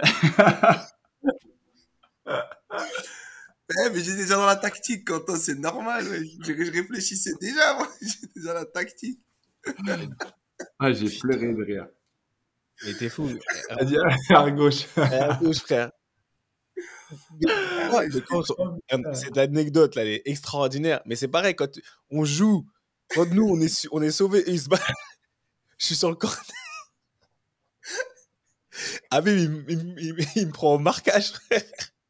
On est sur un terrain de Ligue 1, lui et moi. Il se bat, il se bat pour se sauver. Corner pour nous. Moi, je suis devant, frère. Je fais comme un chétan. Ça veut dire, je cours partout. Et je cours partout. Il est là, il me dit, wesh, tu fais quoi? Mais je dis, mais passe, mais tu fais quoi? Mais arrête de courir. Et là, tu entends le rire de salopard que j'ai. Ah, ah, ah. Et il me court, il me dit, il m'accroche comme ça. Eh, Eh, est- je me rappellerai toujours. J'étais accroché comme ça. Et l'RBG a dit, mais ce mec-là, il dit, eh, mais non, vous inquiétez pas, c'est mon copain.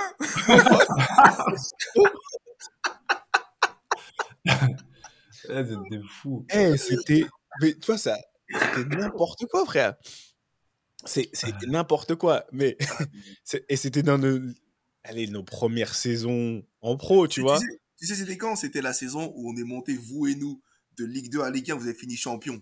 Ouais. Et, euh, et nous, on vous reçoit chez nous avec Strasbourg, En Ligue 2, c'est dernier- vrai. euh, avant-dernier match. Si on on vous tape, on avait, on avait 4 points, on avait, si on vous battait, on avait 4 points d'avance, on était sûr de monter aussi derrière, tu vois. Et ça, c'est- c'était ce jour-là. Et on gagnait 2-1, je me rappelle, et c'était la 88e, comme ça, corner pour vous. Je dis, ouais, je passe, tu vas où? Vas-y, reste, reste défendre, là. Qu'est-ce que tu veux? Et tu rigolais, comme ça. C'était des bars. Donc, vas-y, de manière Ouais. plus sérieuse, qu'est-ce qui se passe dans la vie d'Habib à un moment donné? Où est-ce que, allez, pour aller vite un peu, enfin, En fait, en fait, qu'est-ce qui se passe? Où est-ce que ça flanche? Où est-ce que ça part en couille? Tu vois ce que je veux dire? À quel moment, pourquoi? je pense, je pense que déjà, je pense que j'ai pris la grosse tête à un moment donné. Ça, ça a été, euh, ça a été, ça a été sûr. Je pense que j'ai pris le teston. Euh, je pense que j'ai été mal conseillé. Mal conseillé. Et en fait, euh, quand t'es jeune, t'as vu, t'es, euh, t'es, t'as envie de tout, tout de suite ou rapidement. Et j'ai pas su attendre. Et euh, en fait, j'ai eu à Francfort, j'ai eu le même euh, coach que Ricardo a eu à Leverkusen où il lui a fait exactement la même remarque que moi, tu vois. À un moment donné, je venais de faire ma première saison Bundesliga, j'avais joué 25 matchs sur, euh, sur 34, tu vois. Donc, euh, 25 matchs titulaires. Donc, j'arrive deuxième saison, je, je venais d'être acheté, et pas de problème. Et je me dis, la saison va commencer. Et le mec, au bout de deux jours, il me prend dans son bureau, il me dit, moi, je te veux pas dans mon équipe et tout. Moi, dans ma défense centrale, je veux deux Allemands. Je dis, bah, comment ça, vous voulez deux Allemands enfin, tu vois, en plus, euh, mon, anglais à l'époque, c'était pas non plus l'Amérique, tu vois. Et euh, je dis, vous voulez deux Allemands? Je dis, bah écoutez, euh, moi pour l'instant, je suis là, je fais la préparation, et puis on verra ce qui va se passer, tu vois. Et on joue, on fait la préparation, tout se passe bien, tout se passe bien. Bam, avant dernière, avant le dernier week-end avant de jouer en championnat, on reçoit Chelsea. Tu sais, match de gala qu'on fait en début de saison, là, qui font les grands matchs et tout, tu vois. On reçoit Chelsea. Et euh, devant, c'est Drogba, Nelka. Drogba, Nelka, il me fait rentrer à la mi-temps. On prend le feu, il me fait rentrer à la mi-temps, je fais un match de ouf, je me fais applaudir par les supporters, mais de ouf, tu vois, à la fin, à la fin Nico vient me voir, il me dit, hey, petit, il m'a dit, il m'a dit, ouais, je sais que t'es Clairefontaine et tout, tiens, petit, prends mon maillot et tout, ça me fait grave plaisir et tout. Il il nous avait- il avait vu dans la Clairefontaine, tu vois. Et euh, pff, je suis là, t'es Dosian, le gars donne son maillot, frère, t'es là, t'es dit, ouais, c'est ton idole d'enfance, tu vois. Tu kiffes de ouf. Le lendemain, j'arrive au vestiaire avec les, Je sais, tu sais quand t'es bon, tu sais quand t'as été bon, tu sais quand t'as fait des trucs dans la presse, ça t'a, ça t'a encensé, machin, t'arrives, tu bombes le torse et tout, tac, tu vas faire le, le petit décrassage le lendemain. 11h30, il m'appelle dans son bureau, le coach, il me dit, Hey, demain tu dégages, avant demain faut que tu dégages. Comme ça, Comme ça. Pas, pas, pas, pas, de truc avant demain, faut que tu dégages. Je lui dis, mais attendez, on est le 30, on est le 30 août, vous voulez que j'aille où là? On est le 30 août, vous voulez que j'aille où le 30 août Donc bref, ça c'est. ça, euh, Après Strasbourg, ils sont en difficulté, donc je retourne en prêt à Strasbourg, euh, le, le- je, je signe le 31, tu vois. je retourne à Strasbourg. Et euh, ironie du comble, je sais pas comment on dit là, comble de l'ironie, pardon, c'est pas deux semaines après, euh, les trois centraux, ils sont blessés. À Francfort. Les trois centraux? Les trois centraux, ils sont blessés. Les trois centraux, ils sont blessés. Alors que moi, il me dit ça, le mec, t'as vu, ton ego, il te parle, ton truc. Moi, moi, t'as vu, je, je- je reste un Algérien, t'as vu, le sang, il est chaud, tu me parles, le, sang, le sang, il est monté, il a fait un tour, tu vois, il fait frac, frac. Dis, ah, moi, tu... Et je me casse. Il y a personne qui m'a dit, Eh, mais arrête de faire ton débile, là. T'as 21 ans. T'as 20, ou j'avais non, j'ai 22 ans peut-être. T'as 22 ans, arrête de faire ton con. T'as un contrat de 4 ans. T'as un contrat, t'es très bien, tu gagnes très bien ta vie, tu restes là. S'il faut te lever les fesses pendant 15 jours, 3 semaines, pendant 6 mois, tu vas te lever les, tu vas te lever les fesses pendant 6 mois à l'entraînement. Parce que t'as jamais connu ça de ta vie, parce que moi j'avais jamais connu ça de ma vie. Hmm. En fait, de, de, de, de 12 à 22 ans, mais tout a été linéaire. J'ai jamais connu de difficulté, moi. T'avais aucun contre-coup. hein. Mais tu vois ce que je veux dire? Ça veut dire c'est- c'est c'est monter tout droit, tout droit, tout droit. Je, je- je ne sais pas ce que c'est être dans la difficulté. Donc quand ça t'arrive à 22 ans et que t'as pas quelqu'un à côté de toi, je te parle pas de ta femme ou quoi, parce que ta femme ou quoi, elle n'en sait rien. Elle, ça, c'est c'est pas de son ressort. Je te parle de ton Mm. agent, je te parle de des gens qui sont autour de toi, qui connaissent le foot, tu vois, qui te disent, Hey, petit, t'as 22 ans, défenseur central. S'il faut aller t'asseoir, là, tu vas aller t'asseoir. Si, va t'asseoir et tu vas attendre que le, que le moment il retombe et parce que tu vas travailler pendant, pendant deux mois et tu vas voir que malgré, comme tu as, des qualités, tu vas jouer. Parce que quoi qu'il arrive, je les avais les qualités, j'aurais joué. Personne n'a dit ça. Qu'est-ce que j'ai fait? Je suis parti en prêt à Strasbourg. Je vais en prêt à Strasbourg, c'est au moment où Strasbourg, ça va le plus mal de chez mal, juste avant qu'il dépose le bilan. Hmm. Je, fais, je fais septembre à janvier, de septembre à décembre. En décembre, il y a Lille qui viennent me chercher. Ils veulent me, ils veulent me, me transférer Lille à l'époque. C'était avec, euh, Rudy- je crois que c'était Rudy, Rudy Garcia. Quoi. Garcia Ouais. Bah si, parce avait- c'était Claude Fichot, là, l'adjoint. Ouais.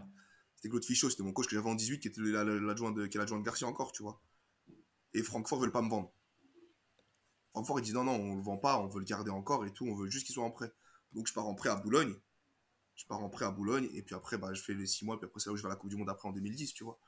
Mais si j'avais pas fait le, le, le, le, le, le- le débile de jeune, et si on avait- m'avait bien dit, hé, va travailler, bah, peut-être que ce serait pas passé comme ça. Ah, mais t'as quand même eu une saison euh, où t'as eu du temps de jeu à Strasbourg et à Boulogne. Oui, bien sûr, bien sûr, mais En c'est- Ligue 1. c'est mais c'est pas le but. Le but, c'est à un moment donné, aujourd'hui, parce que moi, je me bats avec mes, avec mes gamins ou avec mes joueurs, tu vois, à un moment donné, hé, t'as vu quand t'es pas titulaire pendant un truc? Et bah, des fois, dans le foot, c'est c'est le- la, la progression, elle est circulaire. Des fois, tu vas être en haut, des fois, ça va redescendre, ça va repartir, ça va redescendre, tu vois. Et après, tu vas repartir encore plus fort. Mais moi, on m'a pas expliqué ça. On- moi, entre, entre, 12 ans et, entre 10 ans et 22 ans, on m'a pas dit qu'à un moment donné, j'allais être moins fort, ou à un moment donné, je vais être sur le banc.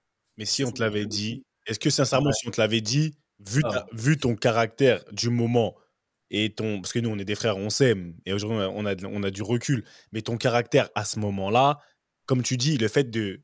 On peut, on peut nous dire des choses tant que tu les vois pas, Ou entend- ou entendre aussi. Et on peut les entendre. Mais, mais bien sûr, mais je, je, je, je leur dis, mais qu'est-ce que tu me racontes?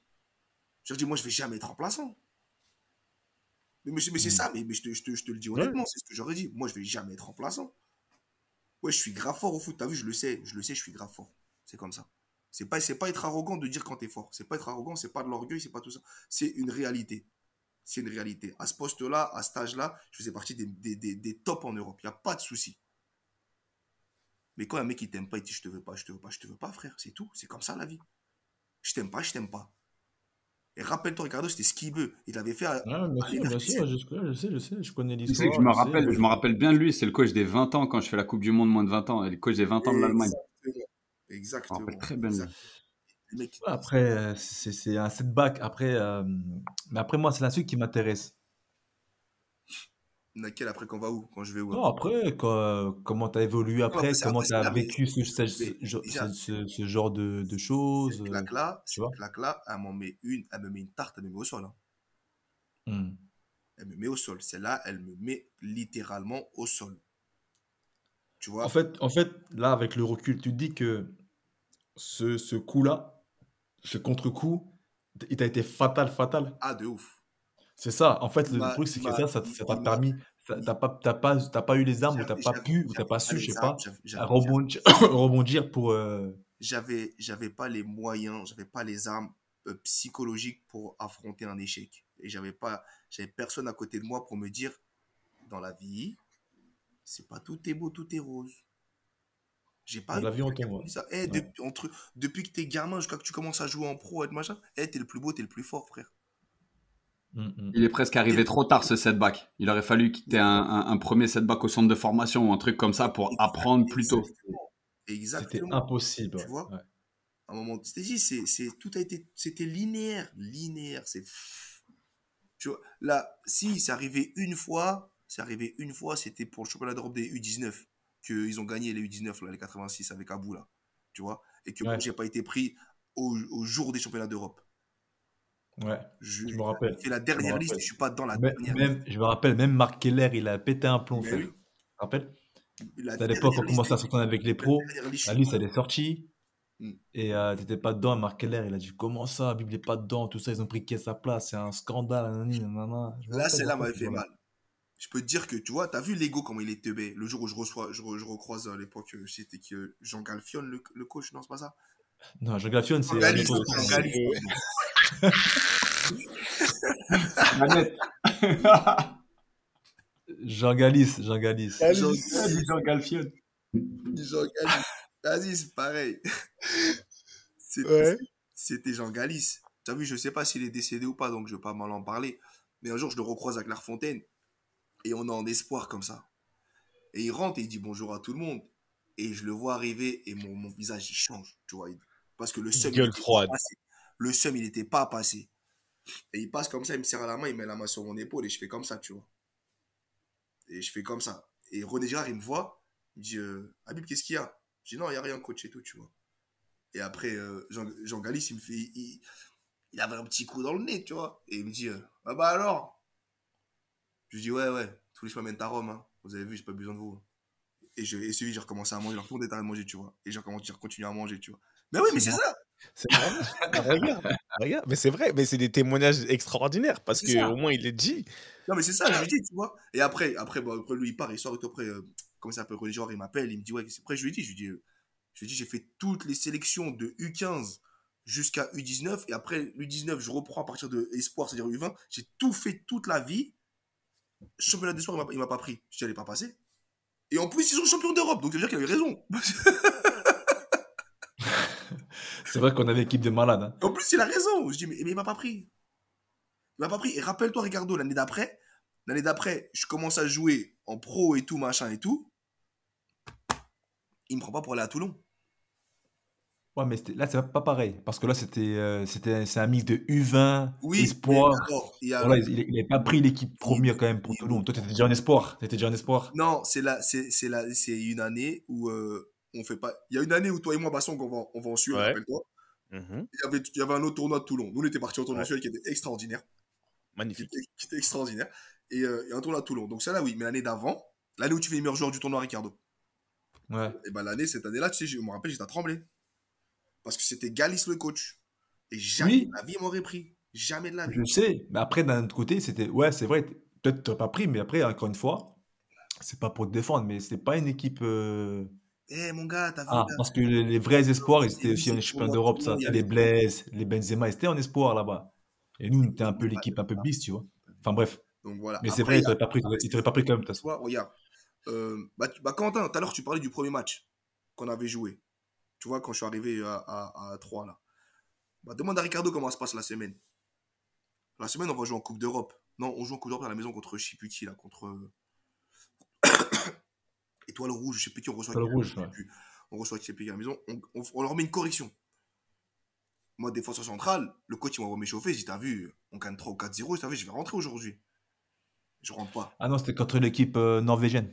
Voilà, je rentre pas. Je rentre, je rentre, euh, je rentre du match, je rentre à l'hôtel, je mange app.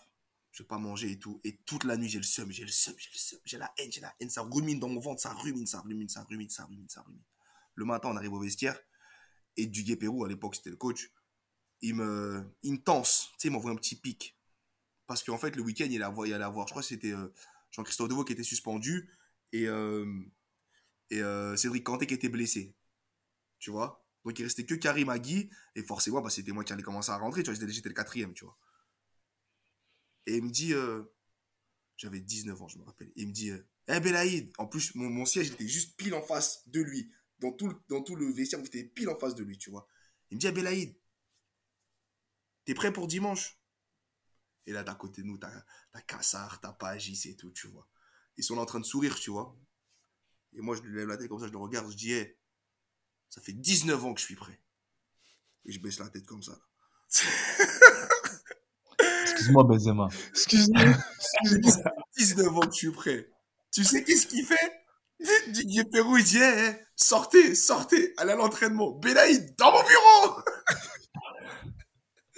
Belaïd, dans mon bureau Il aimait, il aimait ça, l'équipe Euro. Il aimait ça. Dans mon bureau. Ben oui. Après, il m'a fumé dans son bureau. Eh, je pleurais de haine dans son bureau. Je pleurais de, haine. Il me dit, qu'est-ce que t'as? Je dis, ça fait, ça fait, ça fait trois mois que je suis avec vous. Vous m'envoyez tous les week-ends. À chaque fois, vous m'envoyez à l'échauffement. Je rentre jamais et tout, même quand on gagne 4 ou 5-0 et tout, machin. Là, là. Il me dit, mais Habib, tu sens pas que tu vas bientôt jouer? Je dis, je m'en fiche, je vais jouer. Comme un bébé, frère. Il fait des caprices de bébé, cousin. C'est ça. Après, il m'a dit, tu vas jouer dimanche. T'as intérêt d'être bon. Et quand il m'a dit ça, j'ai grave, j'ai souri direct. J'ai fait, hein? j'ai souri direct.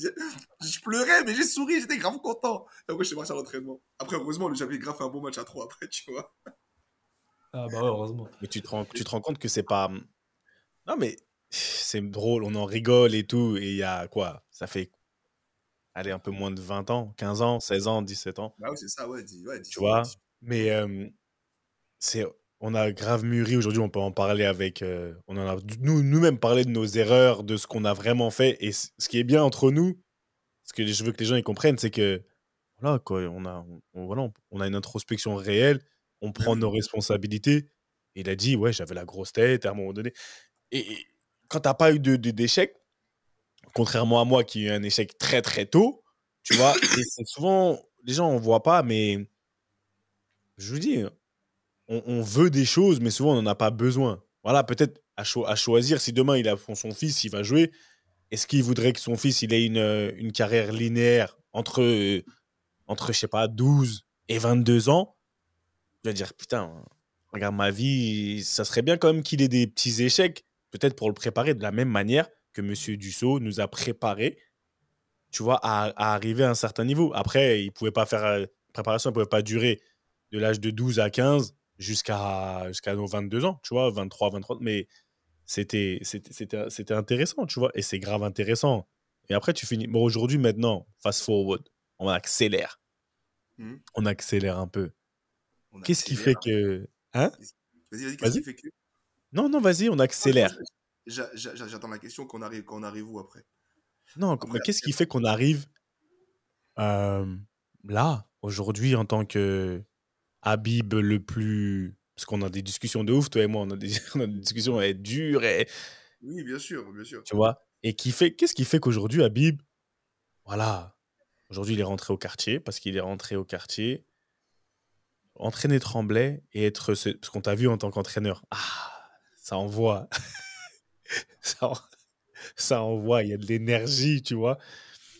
Et t'es- Voilà. tu, tu, tu avec des gens, tu vois, c'est le, monde amateur, tu es avec des, des, gamins qui, qui travaillent toute la journée et qui viennent le soir, ils n'ont pas envie de se prendre la tête. Ça veut dire que des fois, ils n'ont plus forcément d'énergie et tout. Si, moi, en tant qu'entraîneur, j'arrive pas à leur insuffler de l'énergie ou des, des séances d'entraînement entraînantes, tu perds ton groupe, tu perds, tu perds, tu perds plein de choses, tu vois. Donc, euh, donc voilà, et moi aujourd'hui, c'est vraiment une. Je suis au centre de formation. Pour moi, aujourd'hui, je suis au centre de formation. Je suis en train de me former à ce qui va m'arriver plus tard. Tu vois, aujourd'hui, en, Mm. étant, en étant coach ici à Tremblay en R2, tu peux me donner n'importe quoi jusqu'au niveau national, mais je peux te le gérer normal. Tu peux pas, je peux pas avoir de soucis plus que ici. C'est impossible. Dans un club qui est minimum structuré, mais putain, mais tu me donnes un groupe qui est dans un truc qui est structuré, la vie de ma mère que je te rappelle, je te fais des trucs de ouf. Je te fais des trucs de ouf parce qu'on sait comment parler aux joueurs, on sait comment les sortir. Le truc, c'est que les, les jeunes de cette génération qui ont 19, entre 19, allez, 19 et 22, 23, 24 ans, en vrai, on est pareil.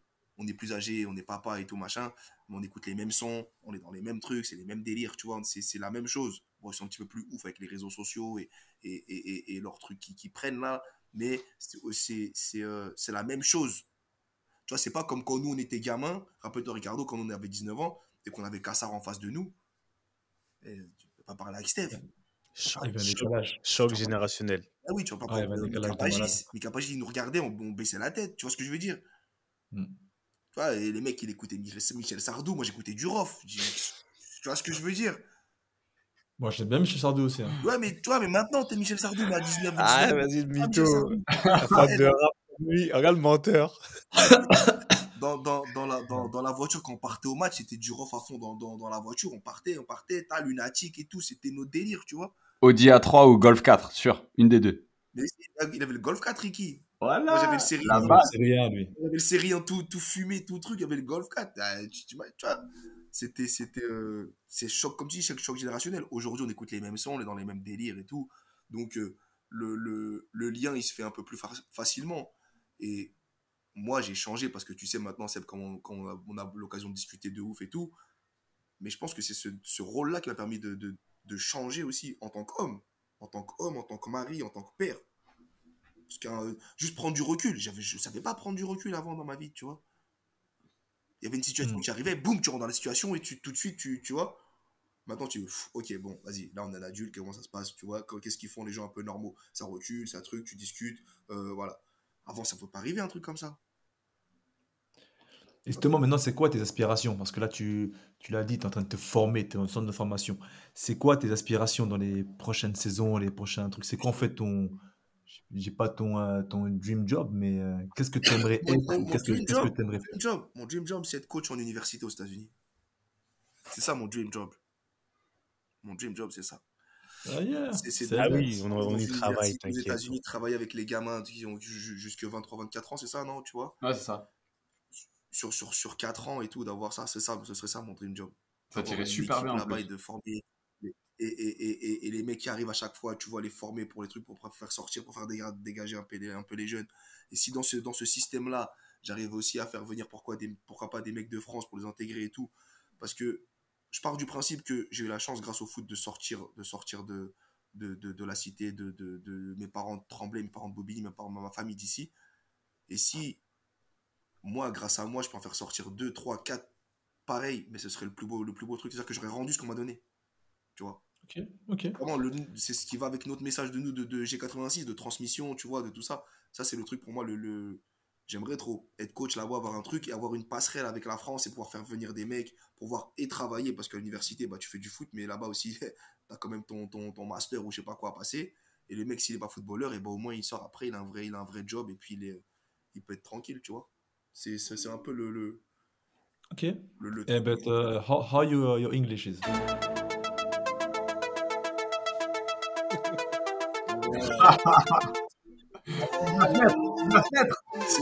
C'est vraiment ça.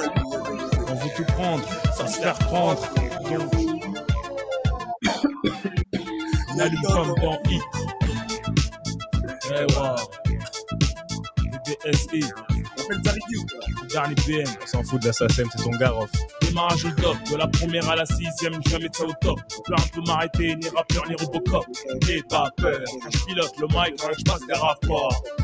Turbo, diesel, sport, injection, avec principe, espoir, ambition, sur un bon son, cherche pas le hit, on veut tout prendre pour se faire prendre, on allume comme dans Hit. Sauf, je suis pas au père de Niro, je t'affranchis que ça monte au cerveau, un truc de dingue, mon 944 son chevaux, je passe les rapports. Il t'a dit avec Ah, principe. on est vieux, les Il gars. t'a dit avec principe, espoir et ambition. T'as vu les trois mots de ouf?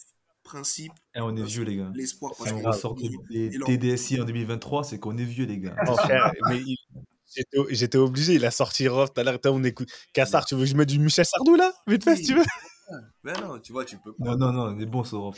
Non, non, mon. Le périph' que je prends sans s'inverse avec les pleins phares la nuit. C'est là. À 2002 km/h, Rof, le dernier BM, en train de zigzaguer. C'est du direct, droit au but comme très aigué. Ah, c'est bon, c'est bon, c'est bon, c'est injection, bon. Fin, fin du game. Finissez, finissez, j'ai fini moi. Ça y est. Mon anglais, mon anglais, il. Non, moi, j'avais juste une question. moi. Vas-y. How is your English? Voilà, my English is not bad. Oh, mais c'est pas. Mais ton, mais ton anglais, il est pas, il est pas nigérian comme celui de Ricky. Hein. C'est un Nigérien. Je- I can attest. Je l'ai vu taper un Ouais. coup de gueule en, en, en Norvège en anglais. J'avais tellement kiffé. Tu te rappelles ce jour-là? Ah ouais. Oh, il avait une gueulante. Elle était appropriée. Et C'est là où je dis, tu vois, moi j'ai joué avec Habib. Je sais pas combien d'années tu as été mûr et posé et trucs, mais là-bas, t'étais une version de toi-même qui était impressionnante. Et tu vois, qu'on clôture, qu'on clôture pas là-dessus, frérot. Moi, de par- parce que moi, mon passage en Norvège, ça a été un pivot dans ma carrière. C'était le moment où j'ai compris énormément de choses, qu'il fallait que j'aille encore plus chercher les choses. Et en fait, le fait de l'avoir partagé avec toi, pour moi, ça représente deux, trois mois hyper intenses. Et surtout, surtout, toi, à ce moment-là, tu étais une version de toi-même qui était extraordinaire. Le nombre de personnes qui m'ont arrêté, qui m'ont dit, on n'a jamais vu un défenseur aussi fort ici. Euh, en, en Norvège, il n'y en a pas deux comme lui. Le nombre de, de louanges et, le, et ton caractère à ce moment-là et la manière dont tu t'étais intégré dans un pays étranger aussi rapidement et tout, franchement, sincèrement, et pour moi, c'est un super souvenir. Et pour toi, ça doit être un super souvenir parce que sincèrement, tu étais impressionnant, frérot. Et je voulais te le dire parce que je pense que je te l'ai jamais dit. Mais au final, moi, c'est un moment qui a été crucial dans ma carrière et d'avoir eu l'occasion de le partager avec toi. Ça a été un, c'était bravo et merci, tu vois. Les deux.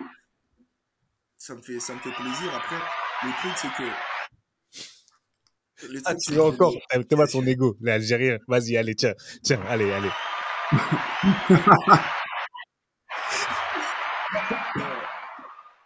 Non, mais le, le, le truc, c'est que voilà, c'est que, après, comme tout, euh, moi, j'étais pas un travailleur, en fait. Ça, ça, ça, je pense que ça a été ma, mon, mon plus gros défaut dans ma carrière. C'est d'avoir des qualités intrinsèques qui étaient euh, largement au-dessus de la moyenne pour ce poste-là. Et de m'être contenté que de ça. De m'être contenté que de ça. Alors que si j'avais travaillé, je t'ai dit, dit, j'avais, comme, comme je dit tout à l'heure, comme tout a été linéaire, quand tout est linéaire, t'as pas besoin de- d'aller chercher la force dans ton ventre, tu vois. T'as pas besoin. Et à un moment donné, quand, quand je me suis retrouvé en Norvège avec Quentin, là, c'était un peu beaucoup moins linéaire, tu vois. Donc, j'avais de la force, j'avais des choses, tu vois, qu'il fallait que aussi j'aille chercher en moi et les, le ressortir aux autres. Donc, pour répondre à ta question, Ricardo, ouais, mon anglais, il est pas mal, même si maintenant, ça fait quand même pas mal de temps que je l'ai pas, euh, je l'ai pas pratiqué. Mais après, c'est comme tout, hein, t'as vu, euh, si un jour je dois me retrouver aux États-Unis, euh, euh, je pense qu'en deux mois, c'est plié. hein. Ouais, oui. Tu je pense qu'en deux mois, c'est plié parce que voilà, j'ai comme la, la, la, la propension à à apprendre les langues facilement. Donc, euh, donc c'est, c'est, c'est, ce, sera, ce serait relativement facile, quoi. Mais ouais, Euh, on l'a vu, on l'a vu en, à la Clairefontaine quand tu parlais aux féminines, ton anglais était grave bien. moi, je parlais anglais.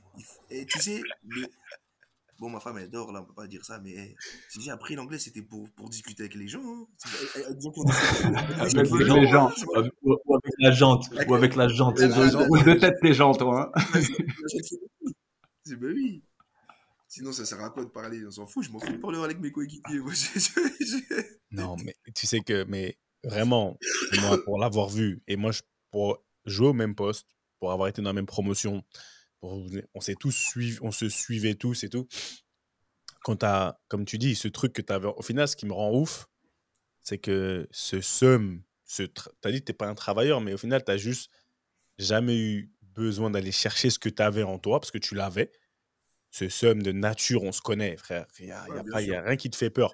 Mais comme tu n'avais pas eu cette occasion, tu n'étais pas amené à faire ça, et c'est là où je veux que les gens ils comprennent que son caractère, il a toujours été dur, il a toujours. Mais cette difficulté-là, cette thuggerie-là à aller chercher, ce n'est pas une question de caractère, c'est une question souvent d'exposition. À, quoi à tu as été exposé, timing, il n'a jamais eu besoin, tu as été le chercher plus tard, et ça m'étonne même pas que Q, quand comme tu dis, là, quand tu étais en Norvège, bah, Q, il a vu la meilleure version de toi-même.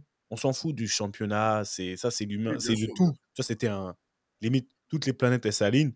T'as été chercher et, tu t'es montré à toi-même que en fait quand tu vas chercher en toi ce que tu vas donner c'est plus im- plus important et même de meilleure qualité que le talent parce que ce que le talent va nous donner tu vois ça nous donne un- une certaine version mais quand on a on y ajoute vraiment du travail ce que la version de nous qu'on donne nous-mêmes on est on est on est on est on est impressionné Le talent, le talent, ça nous rend suffisant. Regarde, le talent, ça nous rend suffisant. Et quand tu regardes bien les plus talentueux de la promotion, je compte pas Abou parce que Abou, ça a été, c'est, euh, c'est, son corps qui l'a trahi. Mais, mais les plus talentueux de la promotion, c'est ceux qui ont fait peut-être la carrière la plus euh, en dents de scie. Tu vois, quand on était chez, quand on était à voilà, t'avais Olivier qui avait aussi un très gros potentiel. T'avais Athème qui était, bah, forcément le, le, le... Athème, c'était Athème. Et est-ce qu'on était des travailleurs? Je suis pas sûr. Tu vois? Et quand tu regardes bien ceux qui ont réussi le plus, c'est ceux qui avaient peut-être moins de talent au départ, mais avec une hargne et une, connaissance de ce que tout peut s'arrêter à n'importe quel moment. Qui, tu vois ce que je veux dire Qui fait qu'ils donnent vraiment de la force. Ils diraient, moi, je vais travailler pour, m'en sortir. Alors que moi, c'était, hey, moi, je vais au foot parce que je suis fort. Parce que je veux pas être professionnel. J'avais pas ce, ce truc de me dire, je vais être pro quoi qu'il arrive parce que j'avais pas cette arrogance euh, là. Mais euh, comme il dit Ricardo, je savais que tous les week-ends j'allais jouer. Moi, je suis arrivé à Strasbourg à 16 ans, j'étais déjà direct avec les 18. Au bout de deux mois, je m'entraînais avec la CFA, tu vois. Eh, tu sais ce que j'ai dit au coach de la CFA au bout d'une semaine? Tu sais ce que je lui ai dit? Il m'a dit, c'était la première semaine, il fallait faire des jongles. Et je faisais pas de te faire tomber la balle. Et en plus, en plus, c'est une taille. Il me dit, ouais, c'est ça qu'on t'a appris à Clairefontaine. C'est ce que je lui ai Je répondu. m'accoince. Voilà, il me disait, ça Adjoint des pros aujourd'hui. c'est ça qu'on t'a appris à Clairefontaine. Je lui dis, vous m'avez pas recruté pour ça. Est-ce que tu imagines un peu le, la mentalité que j'avais? Mais tu vois, c'est super intéressant ce que tu dis parce que j'allais y venir, tu vois, pour conclure, pour conclure un peu l'épisode, c'est que, tu vois, Habib et moi, tu vois, on est, des frères, de toute façon, vous savez, Habib, c'est comme mon troisième frère. C'est, moi, j'ai deux frères et une sœur, mais Habib, c'est mon troisième frère, tu vois. Et on a tout fait ensemble. Et, euh, Ah, et comme vous le remarquez maintenant, surtout ap- après ce podcast, on est totalement différents. Oui, bien sûr. dans la mentalité, dans le caractère, tout ça. Mais tu vois, on avait cet équilibre-là, lui et moi. C'est que moi, j'étais un travailleur, j'étais un bosseur, j'étais réservé, introverti. Et Habib, c'est tout l'opposé. Mm, mm. Sûr de lui, extraverti, talentueux, tout ce que tu veux. Et euh, le fait que si qu'on qu'on euh, qu'on ait été qu'on ait été ensemble à, à Strasbourg, ça nous a beaucoup aidé Ouais, de mutuellement. ouf, de ouf. Ça nous a permis de, de gravir les échelons et de finir pro euh, comme prévu, Ça, ça- ça- pour lui, nous a plus pour lui que pour moi. Ça nous a tiré vers le haut de ouf. Mais ça nous a grave tiré vers le haut. Tu vois, c'est ça que tu vois. C'est là que tu, que tu te rends compte que D'a- D'avoir on un avait, on avait un peu besoin l'un de l'autre pour, pour évoluer et Ouais. que en fait on se, on se complétait bien en fait. Il avait des fois, je me rappelle, il y a des moments où lui était un peu trop euh, surexcité, il était un peu trop, tu vois, euh, énervé. Moi, j'étais là pour le calmer. Et moi, j'étais un peu trop, ou et vice versa. Moi, j'étais un peu trop, un, peu trop introverti, un peu, un peu trop timide. C'est lui qui me disait, vas-y, viens, on y va, on avance, tout ça. Bah oui, Moi, je me bah, rappelle du match de la Roma. hein. C'était Pareil, euh, il m'a fait, il m'a fait signer à Strasbourg, mais il m'a fait signer aussi à la Roma. hein. C'est aussi grâce à lui. hein. C'est lui qui marque le but à la Roma, c'est lui qui nous met en confiance. C'est grâce à lui aussi, quand on joue en- ensemble sur le terrain, il n'y avait rien qui peut nous arrêter, tu vois. Lui, il était, derrière moi, il me disait, vas-y, joue, fais ci, fais ça, nani, nana. Tu vois, il me poussait à devenir meilleur. Non, Donc, c'est euh, ce truc-là qui fait euh, que, euh, Moi, tu le sais. bah, hein. grâce à lui, j'ai- un peu signé aussi à la Roma. Donc, euh, Moi, tu sais très bien j'en profite, pour te remercier. Et, euh, quand t'es parti, puis ça, voilà, quoi. ça- ça a été, ça a été hyper compliqué pour moi les trois premiers mois. Vous imaginez, tu passes, à- tu passes 7 ans de ta vie avec, un- avec, un, avec un pote à toi et la reprise après, il est plus là. ah, ça fait chelou. Hein. Est moi, moi, je vous l'ai dit, hein. De toute façon, je, dis- je le dis à, je dis à chaque interview. Quand j'arrive à la Roma, ma, ma- mes premiers mois, même ma première semaine, choc de ouf. Mais oui. Je me dis, mais qu'est-ce que je fais là? Qu'est-ce que je fais à la Roma? je, me- je fais, quoi ici? Habib, il est tu- pas là, mes gars, ils sont pas là. En fait, c'est quoi? C'est quoi le but, en fait? Tu vois, c'est quoi le sens d'être ici? Je suis pas avec mes gars, je suis pas avec mon- gars, tu vois, c'était chaud. Tu vois, et c'est là que tu te rends compte que si l'entourage, c'est important, hein. super important. Enfin, l'entourage.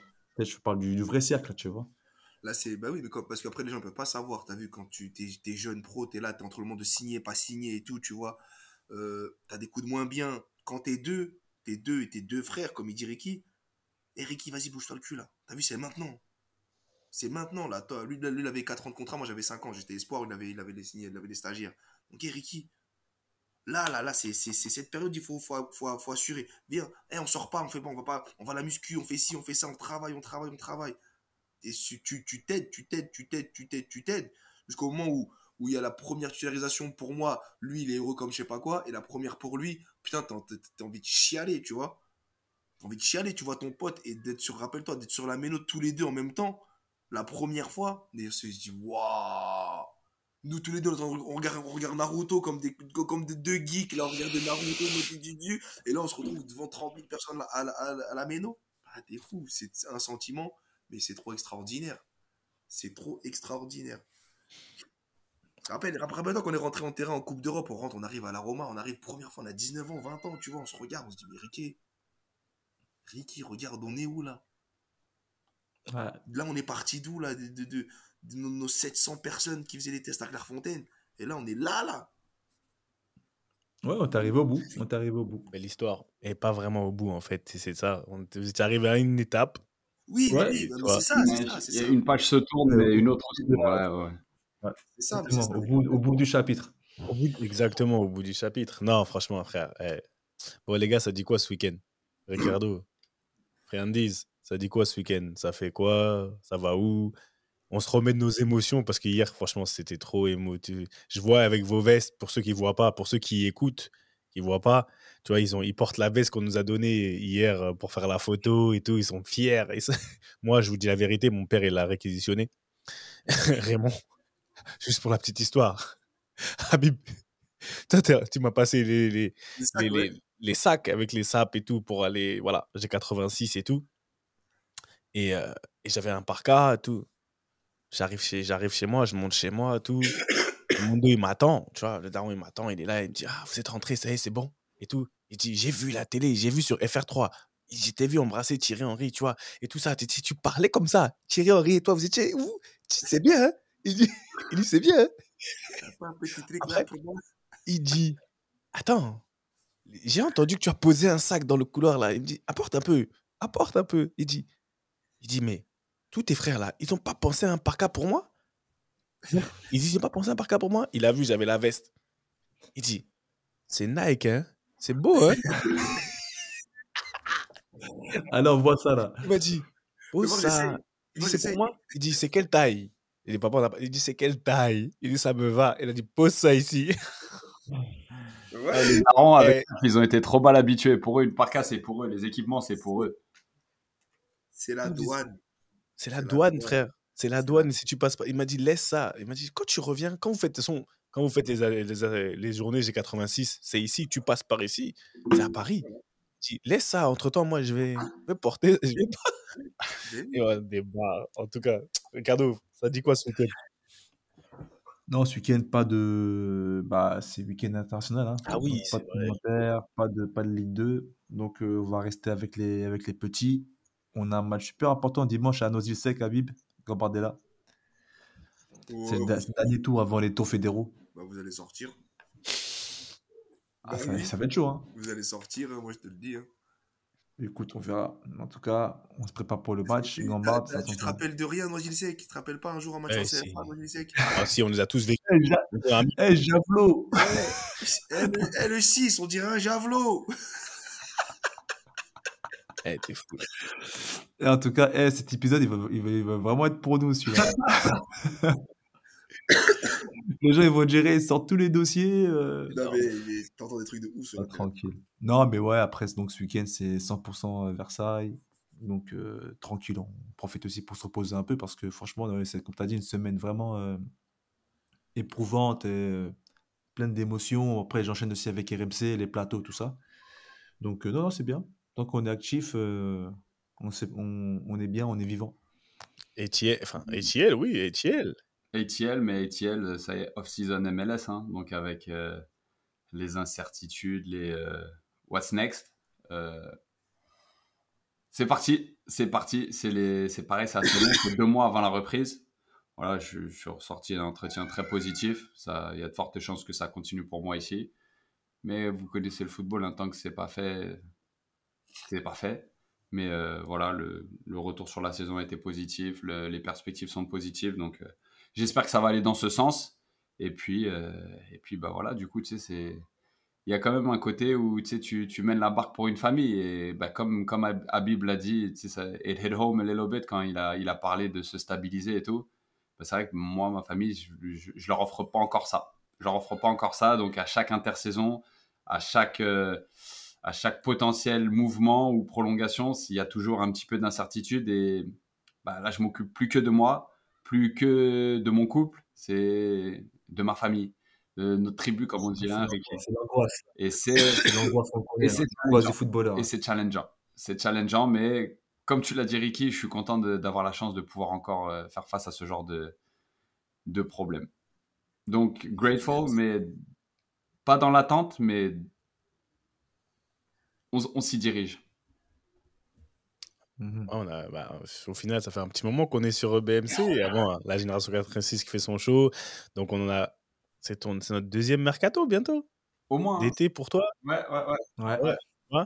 Donc, euh, on commence à, à s'y habituer. Et non, on- Et toi? Pour moi, pour moi, euh, ça y est, bah, on est rentré à London. J'étais à Paname pendant un petit moment.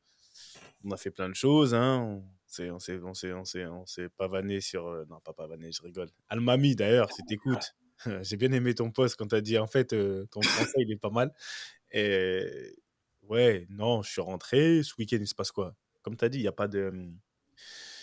Il n'y a pas de, il y a pas de, comment dire, de première ligue.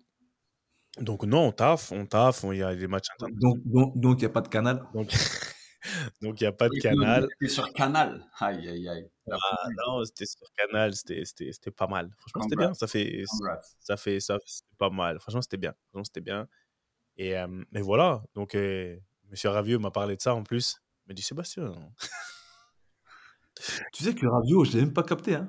Non, T'es tellement busy avec ces gardiens-là. J'ai fait, bon, lui, je vais le laisser, je vais l'attraper plus tard. non, il y avait beaucoup. À un moment donné, on s'est croisés, tu vois. Et, euh, et c'était bien. Non, non, ce week-end, ce week-end, il n'y a rien de spécial. On taffe, il y a des enfants. Et on va taffer euh, mon taf, entre guillemets, hors sport, hors football. On coach, on coach, j'ai mes clients, tu vois, voilà quoi. Euh, la vie continue à ce niveau-là. Et voilà, et toi, Habib, ça dit quoi ce week-end? Ce week-end, je suis au repos, man. Repos ce week-end? Ouais, ça veut dire que là, j'ai mis un match amical mardi après le truc de Clairefontaine. J'en mets un autre demain soir. Et après, je suis parti avec madame un petit peu. On va partir les deux. On va s'occuper de sa famille un petit peu. Ah, c'est bien. Ça fait, ça fait du bien. En tout cas, eh, franchement, c'était même- c'était le- pour moi extraordinaire, les frères. Extraordinaire parce que ça, c'est vraiment la réunion de famille. Il n'y a pas de truc, ça va dans tous les sens, ça envoie. T'as vu que t'es pas ça pas un invité, gros. Eh si, vous me traitez pas semblant. autres. Vous me dites pas, ouais, vous ne n'envoyez pas un chèque comme aux autres. Vous, rien du tout. Moi, ouais, Lou, Chèque Chèque. tu viens, tu, toi, tu viens, tu mets ton truc, tu mets ton ordinateur éclaté au sol, tu viens, tu parles, tu nous laisses. Cas, c'est- un plaisir, c'est un plaisir et c'est un vrai kiff. Et continuez dans ce que vous faites, c'est vraiment, euh, c'est vraiment stylé. On vous voit, on vous suit, donc euh, donc c'est cool. Non, ça fait partie, ça euh, fait partie de la MIF. Et, et pour le coup, là, c'est vraiment. Voilà, il n'y a pas de superlatif descriptif. On voulait vous faire partager déjà notre journée d'hier, comment ça s'est passé, mardi pour euh, quand vous allez écouter. Et, euh, et voilà, tout simplement ce que c'est que vraiment d'être, euh, faire partie de la secte. Parce qu'il est dans la, petite, dans la grande famille INF, il y a la famille Génération 86. Et hier, je le dis haut et fort, j'étais fier de voir le nombre qu'on était représentés. Et ça, montre euh, que voilà, notre association et tout ce qu'on fait, bah, tu vois, le fait d'avoir euh, entretenu ces liens, et de, des fois, c'est pas facile, dans comme dans toutes les familles, mais quand on y met du sien, franchement, ça fait la diff. Et Ah, merci, merci, ouais. merci à tout. J'en ai discuté avec Ravio, moi, hier, quand je l'ai vu. Je t'ai vu, j'ai discuté avec lui un petit peu. Quand j'ai fait mon escapade de 10 minutes vous avez disparu, là. Tu vois. Ouais. On va pas dire pourquoi t'as fait ton escapade, vas-y. Et déjà, il m'a dit, ouais, j'ai pas vu Quentin, il est resté à... au Canada et tout. Je dis, non, bah non, Quentin, il a... Il, m'a dit, ah oui, c'est vrai, aux États-Unis maintenant et tout. Il m'a dit, je suis content, j'ai revu bah, Adrien et... Geoffrey. Il m'a dit, franchement, vous, là, G86, euh... dit, ça fait plaisir, vous êtes beaucoup. Il m'a dit, vous êtes bien représentés, là, j'ai les... les 86. Il dit, ça fait vraiment plaisir. Je dis, bah, après, je lui explique, je dis, voilà, avec l'association qu'on a, c'est vrai que nous aussi, ça, on a réussi à fédérer, à rattraper un peu tout le monde. Encore plus quand tu vois hier, quand tu as Adrien Maz, euh, euh, Bastien, Bastien Benoît, et donc, euh, tu même Geoffrey qui, est remonté pour l'occasion. Donc, euh, donc c'est vrai que ça a vraiment marqué un coup, et il l'a- m'a dit, franchement, le 86, euh, fé- félicitations à vous. Donc ça fait plaisir, tu vois. Ça prouve vraiment que ce qu'on fait, c'est pas, euh, c'est pas anodin non plus. C'est pas anodin. On revient bientôt avec une nouvelle action. Donc suivez-nous sur les réseaux sociaux, suivez la BMC, suivez Habib et tout, parce qu'il va, il va se mettre un peu, tu vois, il fait l'ambiance, il, se remet petit à petit. Hier, il a fait des photos, il m'a demandé comment on fait pour identifier les gens, tu vois, sur Instagram. Quentin, pourquoi tu rigoles? Moi, je vous dis, je suis pas dans ça. Je suis pas dans ça. Clairement. Il m'a dit, on fait comment pour mettre les têtes des gens, les noms? C'est où? Il m'a dit, tiens, J'ai dit mon téléphone, tiens, tiens, tiens, tiens, fais. il m'a dit, tiens, je l'ai identifié. Mais ce que monsieur, ce que monsieur Ravio, il t'a dit, franchement, c'est vrai. Hier, il m'a dit, franchement, monsieur, il m'a dit, Sébastien, très bien, Canal+, très bonne élocution, je suis content de ce que vous faites, de ce que vous faites avec la génération 86. Mais monsieur Ravio, on sait très bien que surtout là, là, monsieur Belaïd, monsieur Belaïd, comme monsieur Belaïd, basket, monsieur, Fa- monsieur Fati, hop, hop, hop, venez. Eh, la lumière s'est éteinte, basket par cas, allez hop, vous tournez autour du bâtiment, on va faire des pompes, c'était BMC. À la semaine prochaine, beaucoup d'amour, on est ensemble. Vive la G86, INF pour toujours, la secte et les frères, on s'aime, je vous aime. À la semaine prochaine. Ciao. One love